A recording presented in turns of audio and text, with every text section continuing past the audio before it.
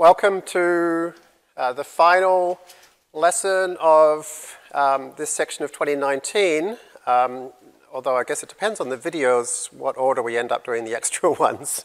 Uh, this is the final one that we're recording uh, live here in San Francisco. Anyway, lesson 14. Uh, lesson two of our special Swift episodes. This is what we'll be uh, covering today. Uh, I won't read through it all, but basically we're going to be filling in the gap between matrix multiplication and training ImageNet um, with all the tricks. And along the way, um, we're going to be seeing a bunch of uh, interesting Swift features and actually seeing how they make our code uh, cleaner, safer, faster. Um, I want to do a special shout out to a couple of our San Francisco study group members who have been uh, particularly helpful over the last couple of weeks since I know uh, nothing about Swift. It's been nice to have some folks who do, such as Alexis, who uh, has been um, uh, responsible actually for quite a, uh, some of the most exciting material you're going to see um, uh, today. And uh, he uh, is the CTO at Topology Eyewear, so if you need glasses, you should definitely go there and get algorithmically designed glasses, literally. So that's pretty cool. So thanks, Alexis, for your help. And thanks also to Pedro, uh, who has almost single-handedly created this fantastic package cache that we have so that in your Jupyter notebooks, you can, you can import all the other um, modules that we're using and other exported modules from the notebooks, and it doesn't have to recompile at all. And so that's really thanks to Pedro. And I actually uh, am a customer of his as well, or at least I was when I used an iPhone. Uh, he's the developer of Camera Plus, which is the most popular camera application on the App Store, literally. Um, and back when I used an iPhone, I loved that program. So I'm sure version 2 is even better, but I haven't tried version 2. So you can use his camera while looking through your topology eyewear glasses. Um, all right, so uh, thanks both to both of you. And uh, where we left off last week was that uh, I um, made a grand claim. Well, I, I, pointed out a couple of things. I pointed out uh, through this fantastic Halide video that actually um, running low-level kind of CUDA kernel stuff fast is actually much harder than just running a bunch of for loops in order. Um, and I showed you a, a, some stuff based on Halide, which showed here's some ways that you can write it fast, and here's some ways you could do it quickly. And then I made the bold claim that um, being able to do this on the GPU through Swift is where we're heading. And so to find out how that's going to happen, let's, uh, let's hear it directly from Chris. Sure. Thanks, Jeremy.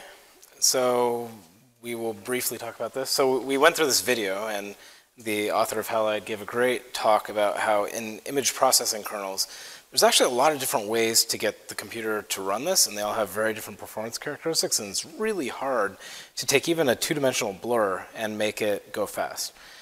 But we're doing something even harder. We're not talking about two-dimensional images. We're talking about 5D matrices and tensors and lots of different operations that are composed together and hundreds or thousands of ops. And trying to make that all go fast is, is really, really, really, really hard.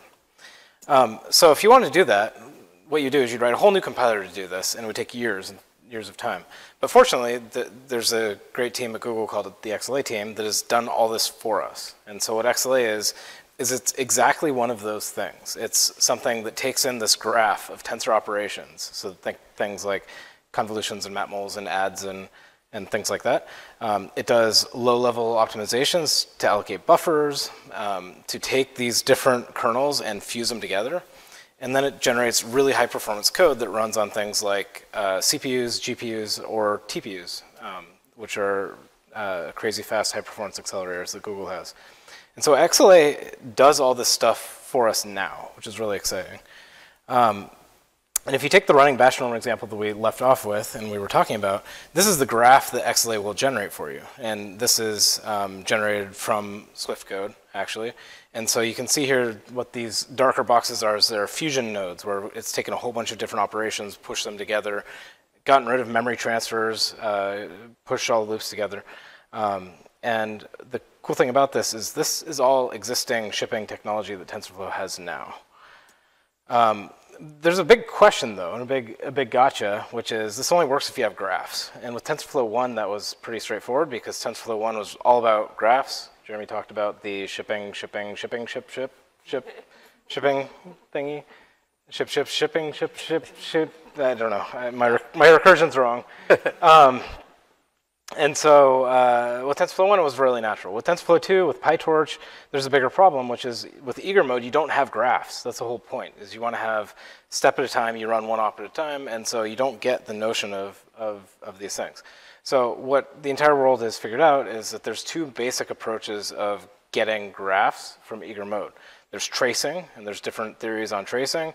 There's uh, staging and taking code and turning it into a graph algorithmically.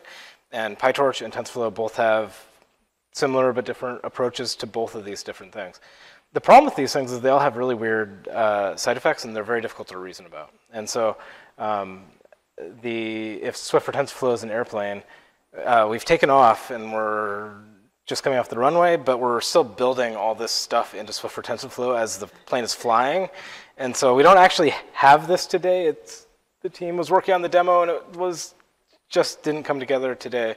Um, but this is, this is really cool. And so one of the problems with tracing, for example, is that in uh, PyTorch or in TensorFlow Python, when you trace, if you have control flow in your model, it will unroll the entire control flow. And so if you have an RNN, for example, it will unroll the entire RNN and make one gigantic thing. And some control flow you want to ignore, some control flow you want to keep in the graph. And so having more control over that is something that we think is really important. So Chris, this um, nearly there is as at end of April. Um, this video will be out somewhere around mid to late June. I It'll suspect probably it be up be and running there. by then. Yes. And if it's not, you will personally go to the house of the person watching the video and fix it for them. So, so look, here's, here's the deal. In two, three months, so that's uh, July, Okay? uh, look on the S- Swift for TensorFlow main page. There should be a Colab demo showing this. Okay. So we'll see. We'll see how the future, uh, what the future. And, and, and there should be a notebook in, in the Harebrain repo that will be called batch norm or something. Um, and we'll have an XLA version of this running Yeah, nice absolutely. and fast. And so Swift also has this thing called graph program extraction. And the basic idea here is that where Autograph and TorchScript are doing these things where they're kind of like Python, but kind of not. And Jeremy was talking before about how like you add a comment in the wrong place and TorchScript will fall over. And it's, it's not, it kind of looks like Python, but really, really is not.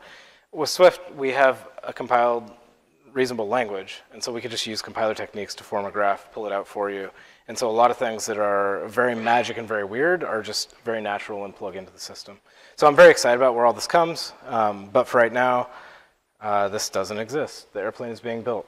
So uh, one last thing that doesn't exist, because Jeremy wanted to talk about this, he's very excited, is the, there's this question about what is MLIR and how does MLIR relate to XLA? What is all this stuff going on? How does this, what does this make sense for TensorFlow? And the way I look at this is that XLA is really good if you have, if you want high performance with these common operators like matrix multiplication, convolution, things like that. These operators can be combined in lots of different ways. Running batch norm is a great example of this. And so these are the primitives that a lot of deep learning is built out of. And XLA is really awesome for high performance, particularly weird accelerators. But there's a catch with this because one of the things that uh, power deep learning is the ability to innovate in many of these ways. And so uh, depthwise convolutions came out, and suddenly with many fewer parameters, you can get really good accuracy wins. And you couldn't do that if you just had convolution. Yeah, and like on the other hand, like depth-wise convolutions are a specific case of grouped convolutions. And the reason we haven't been talking about grouped convolutions in class is that so far no one's really got them running quickly. And so there's this whole thing that like somebody wrote a paper about three years ago, uh, which basically says, hey, here's a way to get all the benefit of convolutions, but much, much faster. And we're still, you know, the practical deep learning for coders course still doesn't teach them because they're still not practical because no one's got them running quickly Right. yet. And so we've been talking about this whole course. The goal with, with this whole platform is to make it an infinitely hackable platform. And so if it's infinitely hackable down to convolution, or give up all performance on a CPU, well, that's not good enough. And so what MLIR is about is there's multiple different aspects of the project, but, but I think the one Jeremy's most excited about is what about custom ops? Right? Why, how can we make it so you don't bottom out at and convolution, and so you get that hackability to invent the next great convolution? Right? So the cool thing about this is that this is a solved problem. The problem is all the problems, all the solutions are in these weird systems that don't talk to each other and they don't work well together and they're solving different slices of it. So Halide, for example, is a really awesome system if you're looking for 2D image processing algorithms, right? That doesn't really help us. Other people have built systems on top of Halide to try to adapt it and things like that. But this is, this is really not a, a, a perfect solution. There's other solutions. So PlaidML uh, was recently acquired by Intel, and they have a lot of really cool compiler technology that is kind of in their little space. TVM is a, is a really exciting project, also building on Halide, pulling together with its own secret sauce of different things. And it's not just the compiler technology, it's also in each of these cases, they've built some kind of domain-specific language to make it easier yep. for you, the data scientist, to write what you want in a, in a quick and easy way. Right, and so, and, and often, and what happens here is that each of these plug into the deep learning frameworks in different ways. Right, and so what you end up having to do is you, uh, you end up in a mode of saying, TVM is really good for this set of stuff, and tensor comprehensions, which is another cool research project, is good at these kinds of things. And so I have to pick and choose the framework I want to use based on which one they happen to build into, which is not very. And again, we don't teach this in practical deep learning for coders because it's not practical yet. Yeah. You know, these things are generally research quality code. They generally don't integrate with things like PyTorch. They generally require lots of complex build steps. The compile so time is often really slow. The, the, the, they work really great on the algorithm in the paper, but they kind of fall apart on things that aren't, all those kinds of problems. So our, our goal and our vision here with, with TensorFlow, but with Swift for TensorFlow also, is to to make it so that you can express things at the highest level of abstraction you can. So if you, if you have a batch norm layer, totally go for that batch norm layer if that's what you want, use it and you're good. If you want to implement your own running batch norm, you can do that in terms of matmuls and, and adds and things like that, fine. If you want to sink down farther, you can go down to one of these systems. If you want to go down farther, you can write assembly code for your accelerator if that's, if that's the thing you're into. But you should be able to get all the way down and pick that level of abstraction that uh, allows you to do what you want to do. And so I, I just want to give tensor comprehensions as one random example of how cool this can be. Um, so this is taken straight out of their paper. This is not integrated. But tensor comprehensions gives you what is basically like Einstein notation on total steroids. It's like um, einsum. So yes, good point. It's like einsum, and um, but taken to a crazy extreme level. And what uh, tensor comprehensions is doing is you write this very simple, this very simple code admittedly kind of weird and it has magic and the syntax isn't the important thing, but you, you write pretty simple code and then it does all this really hardcore compiler stuff. So it starts out with your code, it then fuses the different loops because these two things expand out to loops. It does inference on what are the, the ranges for all the loops and what the, the variables that you're indexing into the arrays do. Then fuse and tile these things, fuse, tile, then sync the code to like um, make it so the inner loops can be vectorized. Uh, this, is, this is actually a particularly interesting example because this thing here, GEMM, is a generalized matrix matrix product. This is actually like the thing on which large amounts of deep learning and linear algebra and stuff is based on. So like a lot of the stuff we write ends up calling a GEMM. And the fact that you can write this thing in two lines of code, if you like look inside like most linear algebra libraries, there will be hundreds or thousands of lines of code to implement something like this. So the fact that you can do this so concisely is super cool. And so the idea that then we could do like, you know, um, nice little tweaks on convolutions or whatever in similar amounts of code is something that I'm, I get very excited about. Yeah, me too. And the, the, the other thing to consider with this is that, again, generating really good code for this is hard. But once you make it so that you separate out the code that gets compiled from the algorithms that get applied to it, now you can do search over those algorithms. Now you can apply machine learning to the compiler itself. And now you can do some really cool things that um, open up new doors. So, I mean, that's actually really interesting because um, in the world of databases, which is a lot more mature than the world of deep learning, this is how it works, right? You have a, a DSL, normally called SQL, where you express what you want, not how to get there. And then there's a thing called a uh, query analyzer or query compiler or query optimizer that figures out the best way to get there, and it'll do crazy stuff like genetic algorithms and all kinds of heuristics.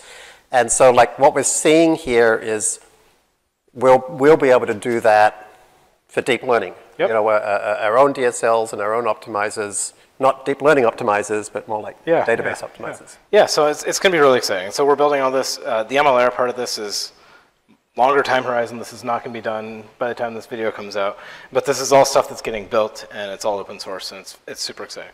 So to overall summarize all this TensorFlow infrastructure stuff, so uh, TensorFlow is deeply investing in the fundamental parts of the system. This includes the compiler stuff, also the runtime, op dispatch, the kernels themselves. There's tons and tons and tons of stuff, and uh, it's all super exciting. So Let's stop talking about the future. Yeah, I mean, this That's is, kind of boring. Like, what can we do today? yeah, this is very exciting, Chris, that, you know, sometime in the next year or two, there'll be these Yeah, really yeah. fast things. But I actually know about some really fast languages right now. Really? Yeah, they're called C, C++, Yuck, and seriously? Swift. Oh. Yeah, let me show you what Oh, I mean. oh, okay. These are actually languages that we can make run um, really fast right now. And um,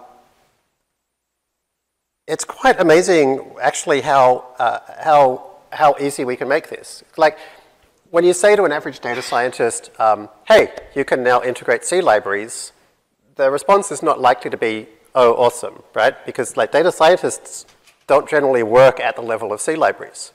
But data scientists, it, you know, work in some domain, right? You work in neuro, neuroradiology, image acquisition, or you work in astrophysics or whatever. And in your domain, there will be many C libraries that do the exact thing that you want to do at great speed, right? And, and currently, you can only access the ones that have been wrapped in Python, and you can only access the bits that have been wrapped in Python. What if you could actually access the entire world of software that's been written in C, which is what most software has been written in, and, and, it's easy enough that, you know, an average data scientist can do it. So here's, here's what it looks like, right? Um, let's say we want to do audio processing. Okay, and so for audio processing, um, I'm, I'm thinking like, oh, how do I start doing audio processing? And in my quick look around, I couldn't see much in Swift that works on Linux for audio processing. So you write yet. an MP3 decoder from scratch, right? Yeah, I thought about doing an MP3 decoder from scratch, but then I, signal processing. I figured like people have MP3 decoders already. What are they doing? And I looked it up on the internet. And it turns out there's lots of C libraries that do it. Yep. And one popular one, uh, apparently, is called SOX. Right? And I'm a data scientist. I'm not an audio processing person. So this is my process last week was like C library MP3 decode, and it says use SOX. So look at this. I've got something here that says import SOX. And then it says init SOX, and then it says read SOX audio. Where did this come from? Well, this comes from a library. Here it is, Sound Exchange. This is what C library homepages tend to look like. They tend to be very 90s. Um, and basically, I, I looked at the documentation, and C library documentation tends to be less than obvious to kind of see what's going on, but you know, it, you just kind of have to learn to read it, just like you learn to read Python documentation. And so basically it says you have to use this header, and then these are the various functions you can call. There's something called init, and there's something called open. So here's what I did. Um, I jumped into um, I jumped into Vim, and I created a directory, and I called it Swift SOX. And in that directory, I created uh, a few things. I created a file called package.swift. And this is the thing that defines a Swift package. A Swift package is something that you can import. And you can actually type Swift package in it, and it'll kind of create the skeleton for you. Personally, my approach to wrapping a new C library is to always copy an existing C library folder that I've created and then just change the name. Because every one of them has the same three files, right? So this is file number one, you have to give it a name, and then you have to say what's the name of the library in C. And in SOX, the name of the library is SOX. Step two is you have to create um, a file called sources, SOX, module.module map.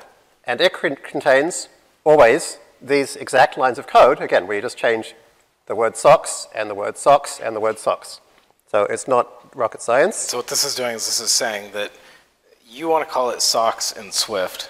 They called it socksu.h for some reason. Well, I actually call it soxu.h, Okay. which we'll see in a moment. and then, uh, but the library isn't, that it gets linked in by libsox. Yeah, exactly. So all these things in C can be different. Yeah.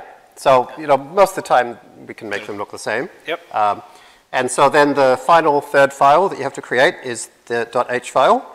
And so you put that in sources, SOX, and I call it SOX umbrella header.h, and that contains one line of code, which is the header file, which as you saw from the documentation, you just copy and paste it from there. So once you add these three files, um, you can then do that. Okay, and so now I can import SOX, and now this thing, this C function is available to Swift, right? And so this is kind of wild, right? Because suddenly, like a lot of what this impractical deep learning for coders course is about is like opening doors that weren't available to us as data scientists before and thinking, what happens if you go through that door? Right? So what happens if you go through the door where suddenly all of the world's C libraries are available to you? What, what can you do in your domain that nobody was doing before because they, there wasn't any Python libraries like that? So I, um, I, I, and so what I tend to do uh, is write little Swift functions that wrap the C functions to make them look nice. So here's init SOX, which checks for the value I'm told the docs say to check for, and SOX open read. For some reason, you have to pass nil, nil, nil, so I just wrapped that. And so now I can say, um, uh, read SOX audio. And so that's going to return um, some kind of structure. And so you have to read the documentation to find out what it is or copy and paste somebody else's code. Uh, very often, the thing that's returned to you is going to be um, a C pointer, and that's no problem. Uh, Swift is perfectly happy with pointers. You just say pointee to grab the thing that it's pointing at. And according to the documentation, there's going to be something called uh, signal, uh, which is going to contain things like sample rate, precision, channels, and length. And so I can, um, let's run those two. So I can run that, and I can see I've opened an audio file with a C library without any extra stuff. So one, yeah. of the, one of the things you can do is you can type SOX tab, and it, know, here's all the stuff that's coming in from that header file. That's wild. Yeah, super cool. So, um, so now I can go ahead and uh, read that, and um, this is kind of somewhat similar to Python. In Python, you can open C libraries in theory and work with them, but I don't do it because, uh, almost never do it, because I find that when I try to, the thing you get back are these C structures and pointers which I can't work with in Python in a convenient way, or if I do use things like PyBind 11, which is something that helps with that, then I have to create all these make scripts and compile processes, and I, I just don't bother, right? None of us bother. Um, but in Swift, it's totally fine. And then the nice thing is we can bring Python and C and Swift together by typing import Python. The unholy marriage. Yeah, now we can just say, uh, we can take our C array and say make NumPy array and plot it, right? So we're really bringing it all together now.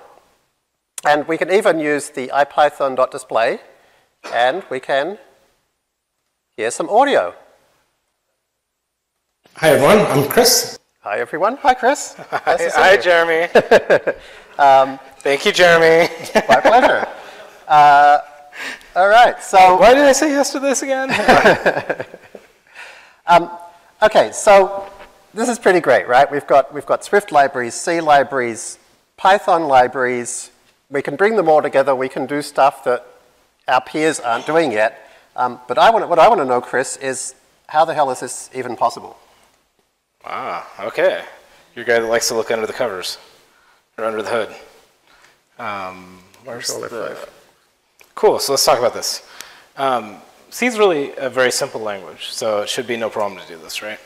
So C is two things, actually. It's really important. I think you were just talking about why it's actually very useful. There's tons of code available in C. A lot of that C is really useful. Um, but C is actually a terrible, crazy, gross language on its own right. Um, C has all these horrible things in it, like pointers um, that are horribly unsafe. And we have a question. Oh, let, um, let's do it. Is it possible to achieve similar results in Python using something like Cython? Um, yeah, absolutely. So um, Cython is a Python-like language which compiles to C. Um, and I would generally rather write Cython than C for integrating C with um, Python. You still kind of, uh, it's actually easier in a Jupyter notebook because you can just say percent percent Cython and kind of integrate it. But as soon as you want to start shipping a module with that thing, which presumably is the purpose is you want to share it, you then have to deal with like build scripts and stuff like that. So like Cython has done an amazing job of kind of making it as, as easy as possible. Um, but I personally have tried to do quite a lot with Cython in the last few months and ended up swearing off it um, because it's, it's just still not convenient enough. I can't quite use a normal debugger and a normal profiler and just ship the code directly and it's still, yeah, it's, it's, it, it's, it's great for Python if that's what you're working with, but it's nowhere near as convenient for, like, I've created Swift C libraries. I created a Swift C library within a week of starting to use Swift. It was just very natural. Cool. And so the thing I want to underscore here is that C is actually really complicated. C has macros, it's got this preprocessor thing going on, it's got bit fields and unions and its weird notion of what varargs are. It's got volatile, it's got all this crazy stuff that the grammar is context sensitive and gross. And so it's just actually really hard to deal with. You sound like somebody who's been through the process of writing a C compiler and came out the other side. Well, so the only thing worse than C is C++. Uh-huh. And uh, it has this like dual side of it. Of, it's both more gross and huge, and it's also more important in some ways. And so um, Swift doesn't integrate with C++ today, but we want to be able to. We want to be able to provide the same level of integration that you just saw with C and C++. But how are we going to do that? Well, Swift loves C, C, C, APIs, like Jeremy was just saying. And so we love C APIs because we want you to be able to directly access all this cool functionality that exists in the world. And so the way it works, as you just saw, is we take the C ideas and remap them into Swift. And so because of that, because they're native, pure Swift things, that's where you get the debugger integration. That's where you get code completion. That's where you get all the things you expect to work in Swift, talking to Dusty Deck, old grody C code from the 80s or wherever you got it from, whatever epoch. Um, and so, and we also don't want to have wrappers or overhead because that, that's totally not what Swift's about. So Jeremy showed you that usually uh, when you import the C API into Swift, it looks like a C API. And so you could, but the nice thing about that is that you can build the APIs that you want to wrap it and you can build your abstractions and make that all good in Swift. So one of the ways this happens is that inside the Swift compiler, it can actually read C header files. And so um, we don't have a great way to plug this into workbooks quite yet, but Swift can actually take a C header file like math.h, which has macros. Here's m underbar e, because m underbar e is a good way to name e apparently. Um, here's the old school square root. Here's the sine cos function, which, you know, of course it returns sine and cosine in, through pointers because C doesn't have tuples, right? And so when you import all that stuff into C, in, into Swift, you get m underbar e as a double that get you can get. You have square root, and you can totally call square root. You have sine cos. You get this unsafe mutable pointer double thing, which we'll talk about later. Similarly, like malloc, free, realloc, all this stuff exists. And so just to show you how crazy this is, let's see if we can do the side-by-side -side thing. Can you make it do side-by-side? -side? Is that a challenge? Yes. My Windows skills are dusty. Check it out. Okay, beautiful. So what we have here is we have the original header file, um, math.h on the left. And if you look at this, you'll see lots of horrible things in C that everybody forgets about because you never write C like this. But this is what C looks like when you're talking about libraries. So we've got a whole bunch of if-defs, we've got macros, we've got like crazy macros, we've got conditionally enabled things, we've got these things are also macros, we've got inline functions, we've got tons and tons and tons of stuff, we've got comments, we've got structures, like exception, of course, that's an exception, right? Um, so when you import this into Swift, this is what the Swift compiler sees. You see something that looks very similar, but this is all Swift syntax. So you see you get the header, the comments, you get all the same functions, you get all of, the, like here's your m underbar e, um, and you get your, your structures as well. And this all comes right in. And this is why Swift can see it. Now, how does this work? That's the big magic question. So if you want to get this to work, what, what you can do is you can build into the Swift compiler, we can write a C parser, right? And we can implement a C preprocessor, and we can implement all the weird rules in C. Um, someday we can extend it and write C++ as well, and we can build as this library so the Swift compiler knows how to parse C code. And a C++ compiler is pretty easy to write, so we can hack that on a weekend. Um, or yay, good news. Like we've already done this many years ago. It's called Clang. So what Clang is is it's a C++ compiler. Oh, this is this is getting even just to even, even more talk about how horrible C is. You you actually get uh, you get inline functions. Inline functions. The the the insane thing about inline functions is that they don't exist anywhere in a program unless you use them. Right? They get inlined. And so if you want to be able to call this function from C, you actually have to code gen. You have to be able to parse that code gen, understand what unions are now, understand all of this crazy stuff just so you can get the sign bit out of a float. Right. C also has things like function pointers and macros and tons of other stuff that's just, it's just madness. And so the right way to do this is to build a C compiler. And the C compiler we have is called Clang. And so what ends up happening is that when Jeremy says import SOX, Swift goes and says, haha, what's a SOX? Oh, it's a, it's a module. Okay, what is a module? Oh, it's C. Oh, it's got a header file. Fire up Clang. Go parse that header file. Go parse all the things the header file pulls in. That's what an umbrella header is. And go pull the entire universe of C together into that module, and then build what's called syntax trees to represent all the C stuff. Well, now we've got a very perfect, pristine C view of the world, the exact same way a C compiler does. And so what we can do then is we can build this integration between Clang and between Swift, where when you say, give me malloc, or give me SOX in it, it Swift says, whoa, what is that? Hey, Clang, do you know what this is? And Clang says, oh yeah, I know what SOX in it is. It's this weird function. It takes all these pointers and blah, blah, blah. And Swift says, okay, cool. I will remap your pointers into my unsafe pointer. I will remap your int into my int32 because the languages are a little bit different. And so that remapping happens. And then when you call that inline function, Swift doesn't want to know how unions work. That's crazy. Um, so what it does instead is it says, hey, Clang, you know how to do all this stuff. You know how to code generate all these things. And they both talk to the LLVM compiler that we were talking about last time. And so they actually talk to each other. They share the code. Clang does all that heavy lifting. And now it's both correct and it just works. Two things we like. And so these two things plug together really well, and now Swift can talk directly to C APIs. It's very nice.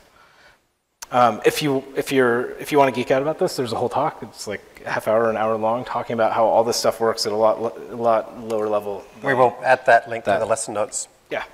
So let's jump back to your example because. Okay. So the reason, one of the reasons I'm really interested in this description, Chris, is that um, it's kind of all about one of the reasons I really wanted to work with you, apart from the fact that you're very amusing and entertaining, um, is that I'm easy this, to laugh at. Yeah, absolutely. Is that this this idea of what you did with Clang and Swift is like the kind of stuff that we're going, we're going to be seeing is what's happened with like how differentiation is getting added to Swift, and like this idea of like being able to pull on this entire compiler infrastructure, as you'll see, is actually going to allow us to do some similarly exciting and surprisingly amazing things in, Yeah. in deep learning world. And, and I'll say this is all simple now, but actually getting these two massive systems to talk to each other was kind of heroic. And uh, it was getting Python integrated was comparatively easy because Python is super dynamic, and C is not dynamic. Yeah. And, and one thing I'll say about C libraries is each time I come across a C library, um, they, many of them have used these weird edge case things Chris described in surprising ways. And so I just wanted to point at a couple of pointers as to how you can um, deal with these weird edge cases. So um, when I started looking at um, kind of how do I create my own version of tf.data, I need to be able to read JPEG files, I need to be able to do image processing. I was interested in trying this library called um, um, VIPS. And uh, VIPS is a really interesting C library for, um, for image processing. And so I started looking at, the, um, at bringing in the C library. And so I started in exactly the way uh, you've seen already. Um, so let's do that. So you will find, uh, just like we have a Swift SOX in, in the uh, repo, there's also a Swift VIPS. And we'll start we'll start seeing some pretty familiar things. There's the, there's the same package.swift that you've seen before, um, but now it's got some extra lines we'll describe in a moment. There's the sources, VIPS, module map with the exact three lines of code that you've seen before. Um, there's the sources, VIPS, um, some header, I called it a different name in this case, which has the one line of code which, which is connecting to the header. Um, after you've done that, you can now import VIPS. Done. But um, it turns out that the VIPS documentation says that um, uh, they actually added the ability to handle uh, optional positional arguments. In C. In C. And Ah. so it turns out that you can do that in C, even though it's not officially part of C, um, by uh, using something called varargs, which is basically in C. You can say this, the number of arguments that go here is kind of not defined ahead of time, and you can use something I've never heard of before called a sentinel, and basically you end up with stuff which looks like uh, this. um, you end up with stuff which looks like this, where you basically say, um, I want to do a resize, um, and it has some arguments that are specified, like horizontal scale, and by default it makes the aspect ratio the same. But if you want to also change the aspect ratio and have a vertical scale, you literally write the string v-scale, and that says, oh, the next argument is the vertical scale. And if you want to use some different interpolation kernel, you pass the word kernel, and you say there's some different uh, interpolation kernel. Now this is tricky because um, for all the magic that Swift does do, it doesn't currently know how to deal with var args and sentinels. It's just a, it's an edge case of the C world that Swift hasn't handled yet. I think this might be the last edge case. Okay. Jeremy so- has this amazing thing to find the breaking point of anything. Oh, that's what I do. yes. Um, but no problem, right? The trick is to provide a, um, a, a, a, a header file where the things that Swift needs to call look like the things that they expect. So in this case, you can see I've actually written my own C library, right? And so I added a C library by literally just putting into um, sources, uh, I just created a, another directory, and in there I just dumped a C header file, right? And here's the amazing thing. As soon as I do that, I can now add that C library, not precompiled, but actual C code I've just written, to my package.swift, and I can use that from Swift as well, right? And so that means that I can wrap the, the VIPS weird varargs resize version with a non-varargs resize version where you always pass in vertical scale, for instance. And so now I can just go ahead and say vips load image. And then I can um, say vips get, and then I can pass that to um, Swift for TensorFlow in order to display it through Matplotlib. Um, now, there's a really interesting thing here, which is when you're working with C, uh, you have to deal with C memory management. So Swift has uh, this fantastic reference counting system, which nearly always handles memory for you. Um, every C library handles memory management differently. So we're about to talk about OpenCV, which actually has its own reference counting system, believe it or not. Um, but most of the time, the library will tell you, hey, this thing is going to allocate some memory, you have to free it later, right? And so here's a really cool trick. Um, the, the vips get function says, hey, this memory, you're going to have to free it later. Um, to free memory in C, you use the free function because we can use uh, C functions um, from uh, Swift, we can use the free function. And I need to make sure that we call it when we're all done. And there's a super cool thing in Swift called defer. And defer says, run this piece of code before you finish doing whatever we're doing, which in this case would be before we exit from this function. yeah, so if you throw an exception, if you return early, like anything else, it will make sure to run that. And Yeah, and in this case, I didn't, probably didn't need defer because there isn't like exceptions being thrown or lots of different return places. But I just, that's my habit, is that if I need to clean up memory, I just chuck it in a defer block. Um, or at least that's one of the two methods that I use. So that's that. Um, so because I like finding the edges of things and then doing it anyway, um, the next thing I looked at, um, uh, and this gives you a good sense of how much I hate tf.data, is, is I was trying to do anything I could to avoid tf.data. Um, and so I thought, all right, um, let's try OpenCV. And for those of you that have been around FastAI for a while, you'll remember OpenCV is what we used in um, FastAI 0.7. And uh, I loved it because it was like insanely, insanely fast. Um, it's, it's fast, reliable, high-quality code that covers a massive amount of computer vision. It's kind of like, it's what everybody uses if they can. And much to my sadness, we had to throw it out because it just, it hates Python multiprocessing so much. It just kept creating weird race conditions and crashes and stalls on like literally the same code on the same operating system on two different AWS servers that were meant to be the same spec would give different results. So that was sad. So I was kind of hopeful maybe it'll work in Swift. So we gave it a go.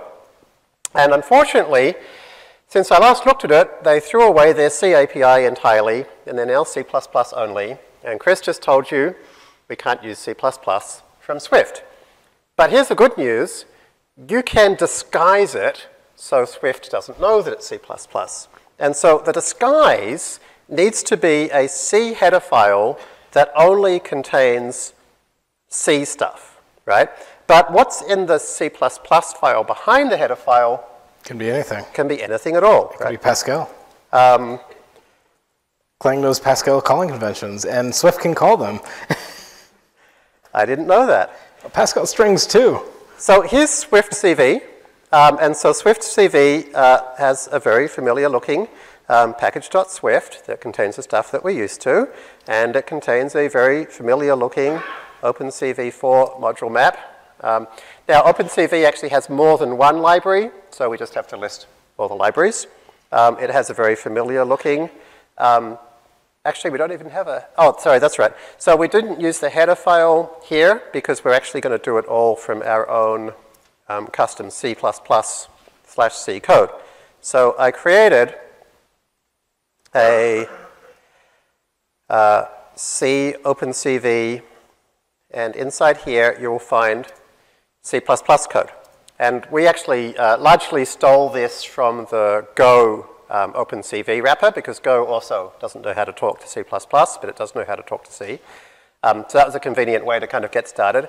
And you can see that, for example, we can't call new because new is C++. But we can create a function called matnew that calls that, and then we can create a header that has mat new, and that's not C++ right? This is actually a plain C struct, uh, pointer to a struct. Um, and so I can call that. And so even generics, C++ generics, we can handle this way. So um, OpenCV actually has a full-on multi-dimensional generic array, like NumPy, with like mm -hmm. matrix multiplication, all the stuff in it. And the way its generic stuff works is that you can ask for a particular pixel and you say what data type is it using C++ generics. So we just create lots and lots of different versions, all the different generic versions, which in the header file look like C. So once we've done all that, we can then say uh, import SwiftCV and start using OpenCV stuff. So um, what does that look like? Well, now that we can use that, we can grab this, we can read an image, we can have a look at its size. We can get the underlying C pointer. Um, and we can start doing, yep, and we can start doing uh, timing things and kind of see, is it actually looking like it's going to be hopeful in terms of performance, um, and so forth. Um, I was very scared when I started seeing in Swift all these unsafe mutable pointers and whatnot. They're, they're designed to make you scared. it starts with unsafe. Fair enough. But this is C, right? And so C, C is inherently unsafe. Yeah. Um, Swift's theory on that is that it does not prevent you from using it, it just makes it so you know that you're in that world. Um, but there's actually this great table I saw um, from uh, Ray Wenderlich's, from Ray Wenderlich's website, um, and I've uh, stolen it here. And basically what he pointed out is the names of all of these crazy pointer types actually have this very well-structured thing. They all start with unsafe, they all end with pointer, and in the middle there's this little mini language which is, um, can you change them or not? Um, are they typed or not? Uh, do we know the count of the number of things in there or not? And what type of thing do they point to if they're typed? So once you kind of realize all of these names have that structure, um, suddenly things start seeming um, more reasonable again. We have two questions. All right, let's go with the two questions. Uh, one is Are the C libraries dynamically linked or statically linked or compiled from source to be available in Swift? Sure. By default, if you import them, they are statically linked. And so they'll link in with the normal linker flags. And if the library is a .a file, then it will get statically linked directly into your Swift code. If it's a .so file, then you'll dynamically link it, but it's still linked to your executable. Um, all the linker stuff, so DL open, is a C API. And so if you want to, you can dynamically load C libraries, you can look up their symbols dynamically, you can do all that kind of stuff too. Another question is um, how much C do you have to know to do all these C related imports? Um, I, I, almost none, so like I don't really know any C at all. Um, so I kind of like randomly press buttons until things start working or copy and paste other people's C code. Yeah, the, the internet, Stack Overflow has a lot of helpful stuff. Yeah, you need to know there's a thing called a header file, and that contains a list of the functions that you can call. And you need to know that you type uh, hash include angle brackets header file. Um, but you can just copy and paste yeah. the, the, the Swift SOX library that I've already shown you, which has the three files already there. And so really you don't need to know any C, you just need to replace the word SOX with the name of the library you're using. And then you need to know, um, you need to kind of work through the, the, the, documentation that's in C, and that's the bit where it gets like, you know, um, I find the tab completion stuff is the best way to handle that, is like hit tab and you, you say let x equal, and then you call some function, and then you say x dot, and you see what's inside it, and yeah. things kind of start working. And, and, for all the hard time you give SOX as a, uh, you know, not, not a web design firm, um, it has a pretty well-structured API. Mm-hmm. And so if, if, if you have a well-structured API like this, then using it is pretty straightforward. If you have something somebody hacked together, they didn't think about it, then it's probably going to be weird and you may have to understand their API and it may require you to understand a lot of C. But those are the APIs that you probably won't end up using because if they haven't gotten a lot of love to their API, people aren't using it, usually. Uh, my impression is that almost all of the examples of the future power of Swift seem to rely on not on the abstraction to higher levels, but on the diving into lower level details. As a data scientist, I try to avoid doing this. I only go low if I know there's a big performance gain to be had. Um, so yeah. um, let me um, you know, say my perspective as a data scientist, and yeah. then maybe we can hear your. Well, and I was, I was just going to inject. We're starting at the bottom, yeah. So we'll be getting much higher level soon. But. Yeah, but I mean, I, I, th there's a reason that I'm I'm wanting to teach this stuff, which is that I actually think as data scientists, this is our opportunity to be far more awesome. Um, it's like being able to access, like, something I've noticed for the last 25 years is like everybody I know in, I mean, it didn't used to be called data science, but we used to call it like industrial mathematics or whatever, um, operated within the world that was accessible to them, right? So like at the moment, for example, there's a huge world of something called sparse convolutions that are, I know they're amazing. Um, I've seen like competition winning solutions. They, they like get state of the art results. There's like two people in the world doing it because it all requires custom CUDA kernels, you know. Um, for, for years, for decades, almost nobody was doing differentiable programming because we had to calculate the derivatives by hand. So like, it's, it's not just about, um, oh, I want an extra, it's absolutely not about, I, want an extra 5% of performance. It's about um, being able to do whatever's in your head. So like, I used to be a management consultant, I'm afraid to say, and I didn't know how to program, and I knew Excel. And the day that I learned Visual Basic was like, oh, now I'm not limited to the things I can do in a spreadsheet, I can program. You know, and then when I learned Delphi, it was like, oh, I'm, now I'm not limited to the things that I can program in a spreadsheet, I can do things that are in my head. So that's, that's where I want us all to get to.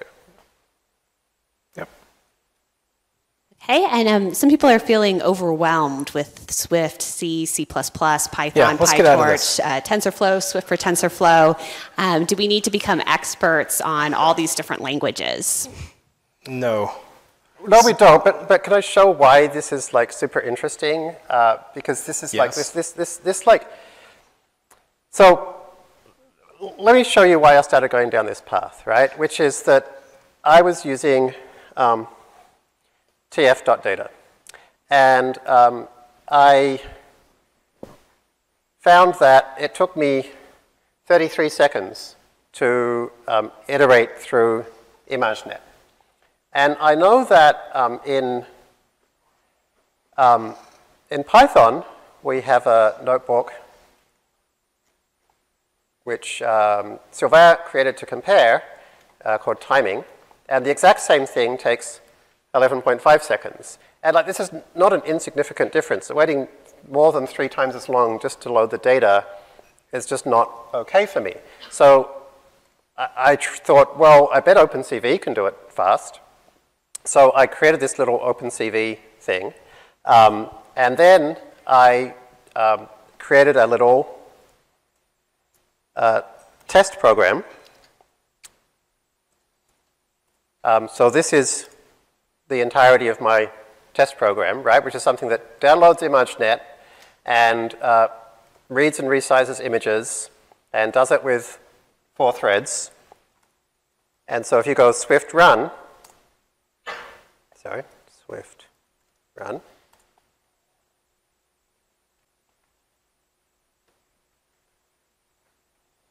Okay, so when I run this, check this out. 7.2 seconds, right? And so this was like half a day's work.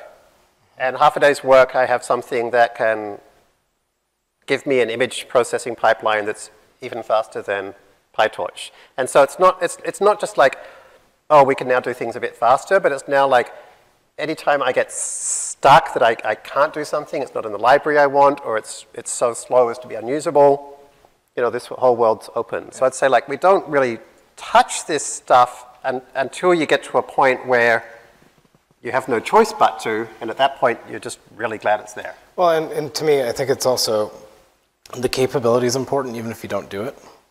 Uh, so keep in mind, this is all code that's in a workbook. So you can get code in the workbook from anywhere. And now you can share that workbook.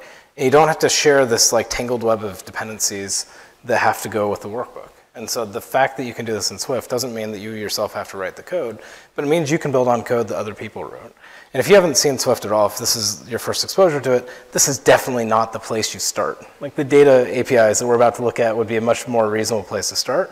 Um, you've had a month or two months worth of hacking with Swift time, and that's Jeremy months, so that's like a year for normal people.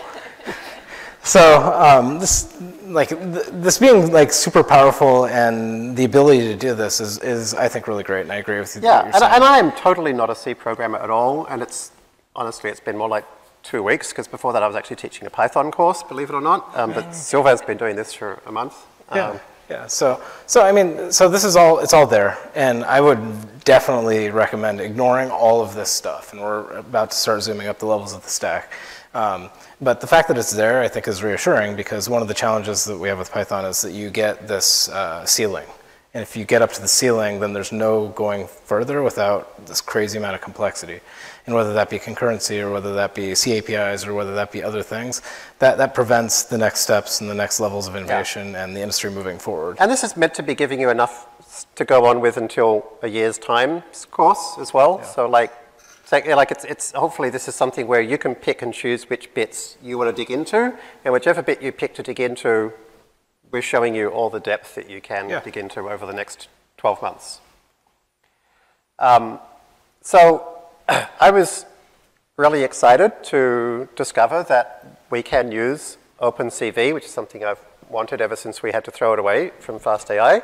And so I thought, you know, what would it take to create a data blocks API with OpenCV. And uh, thanks to um, Alexis Gallagher, who kind of gave us the great starting point to say, well, here is what a Swifty um, style um, uh, Datablocks would look like. We were able to flesh it out into this complete thing. And uh, when Chris described Alexis to me as the uh, world leader on value types, I was like, wait, I thought you created them. I thought, okay, I guess we can listen to Alexis's um, uh, code uh, for this. So I, I, will say I'm terrified about presenting those slides because Alexis is sitting right there, and if he starts scowling, then oh, no. we have a handheld mic. Come and you know correct us anytime. So um, there's a thing here called uh, OC data block generic, um, where you'll find that what we've actually done is we've got the entire data blocks API in this really interesting Swifty style. And what you'll see is that when we compare it to the Python version, this is on, on every axis very significantly better. Um, so let's talk about some of the problems with the data block API in Python. I, I love the data block API, but lots of you have rightly complained that we have to run all the dot blah, dot blah, dot blah in a particular order. If we get the wrong order, we get inscrutable errors. Uh, we have to make sure that we have certain steps in there. If we miss a step, we get inscrutable errors. Um, it, it, it's, it's difficult to deal with at that level. And then the code inside the DataBlocks API, I hate changing it now because I find it too confusing to remember like why it all fits together. But check out this Swift code that does the same thing, right? So um, is that don't load. Um, this is just the same uh, get files we've seen before. Um, all we need to do is we say, you know what, if you're going to create some new data bunch, you need some way to get the data. You some, need some way, and let's assume that they're just paths for now. Uh, you need some way to turn all of those paths into items, so something like our item list in Python. You need some way to split that between training and validation. And you need some way to label um, the items. Right? So for example, for ImageNet, uh, download calls that. And things that convert um, paths to images, uh, sorry, which convert, uh, which uh, grab all of the list of paths is that collect files. Um, and then the thing that converts, uh, that decides whether they're training or validation um, is whether the parent.parent is train or not. And the thing that creates the label is the parent. And so like we can basically just define this one neat little package of information and, and we're done. And Swift will actually tell us if we forgot something or if one of the things that we provided, uh, like is training is meant to return true or false if it's training or validation. If we return, like accidentally return the, the words train instead, it'll complain and let us know. So like, it, I, I, just love this um, so much. But to understand what's going on here, we need to learn a bit more about um, how Swift works and this idea of protocols. Yeah, so this is something that is actually useful um, if you are doing deep learning stuff. So let's talk about, oh, sorry, go for it. So let's talk about what protocols are in Swift. So we've seen uh, structs. Um, we will see classes later, but to, right now we want to talk about what protocols are. And if you've worked in other languages, you may be familiar with things like interfaces in Java, uh, abstract classes are often used, uh, advanced other weird languages have things called type classes, and so all these things are related to protocols in Swift. And what protocols do is they're all about splitting the interface of a type from the implementation. And so we'll talk about layer later. Um, layer is a protocol, and it says that to use a layer, or to rather to define a layer, you have this call. So layers are callable, just like in PyTorch.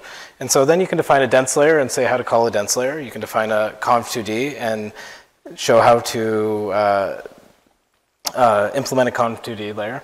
And so there's a contract here between what a type is supposed to have. All layers must be callable.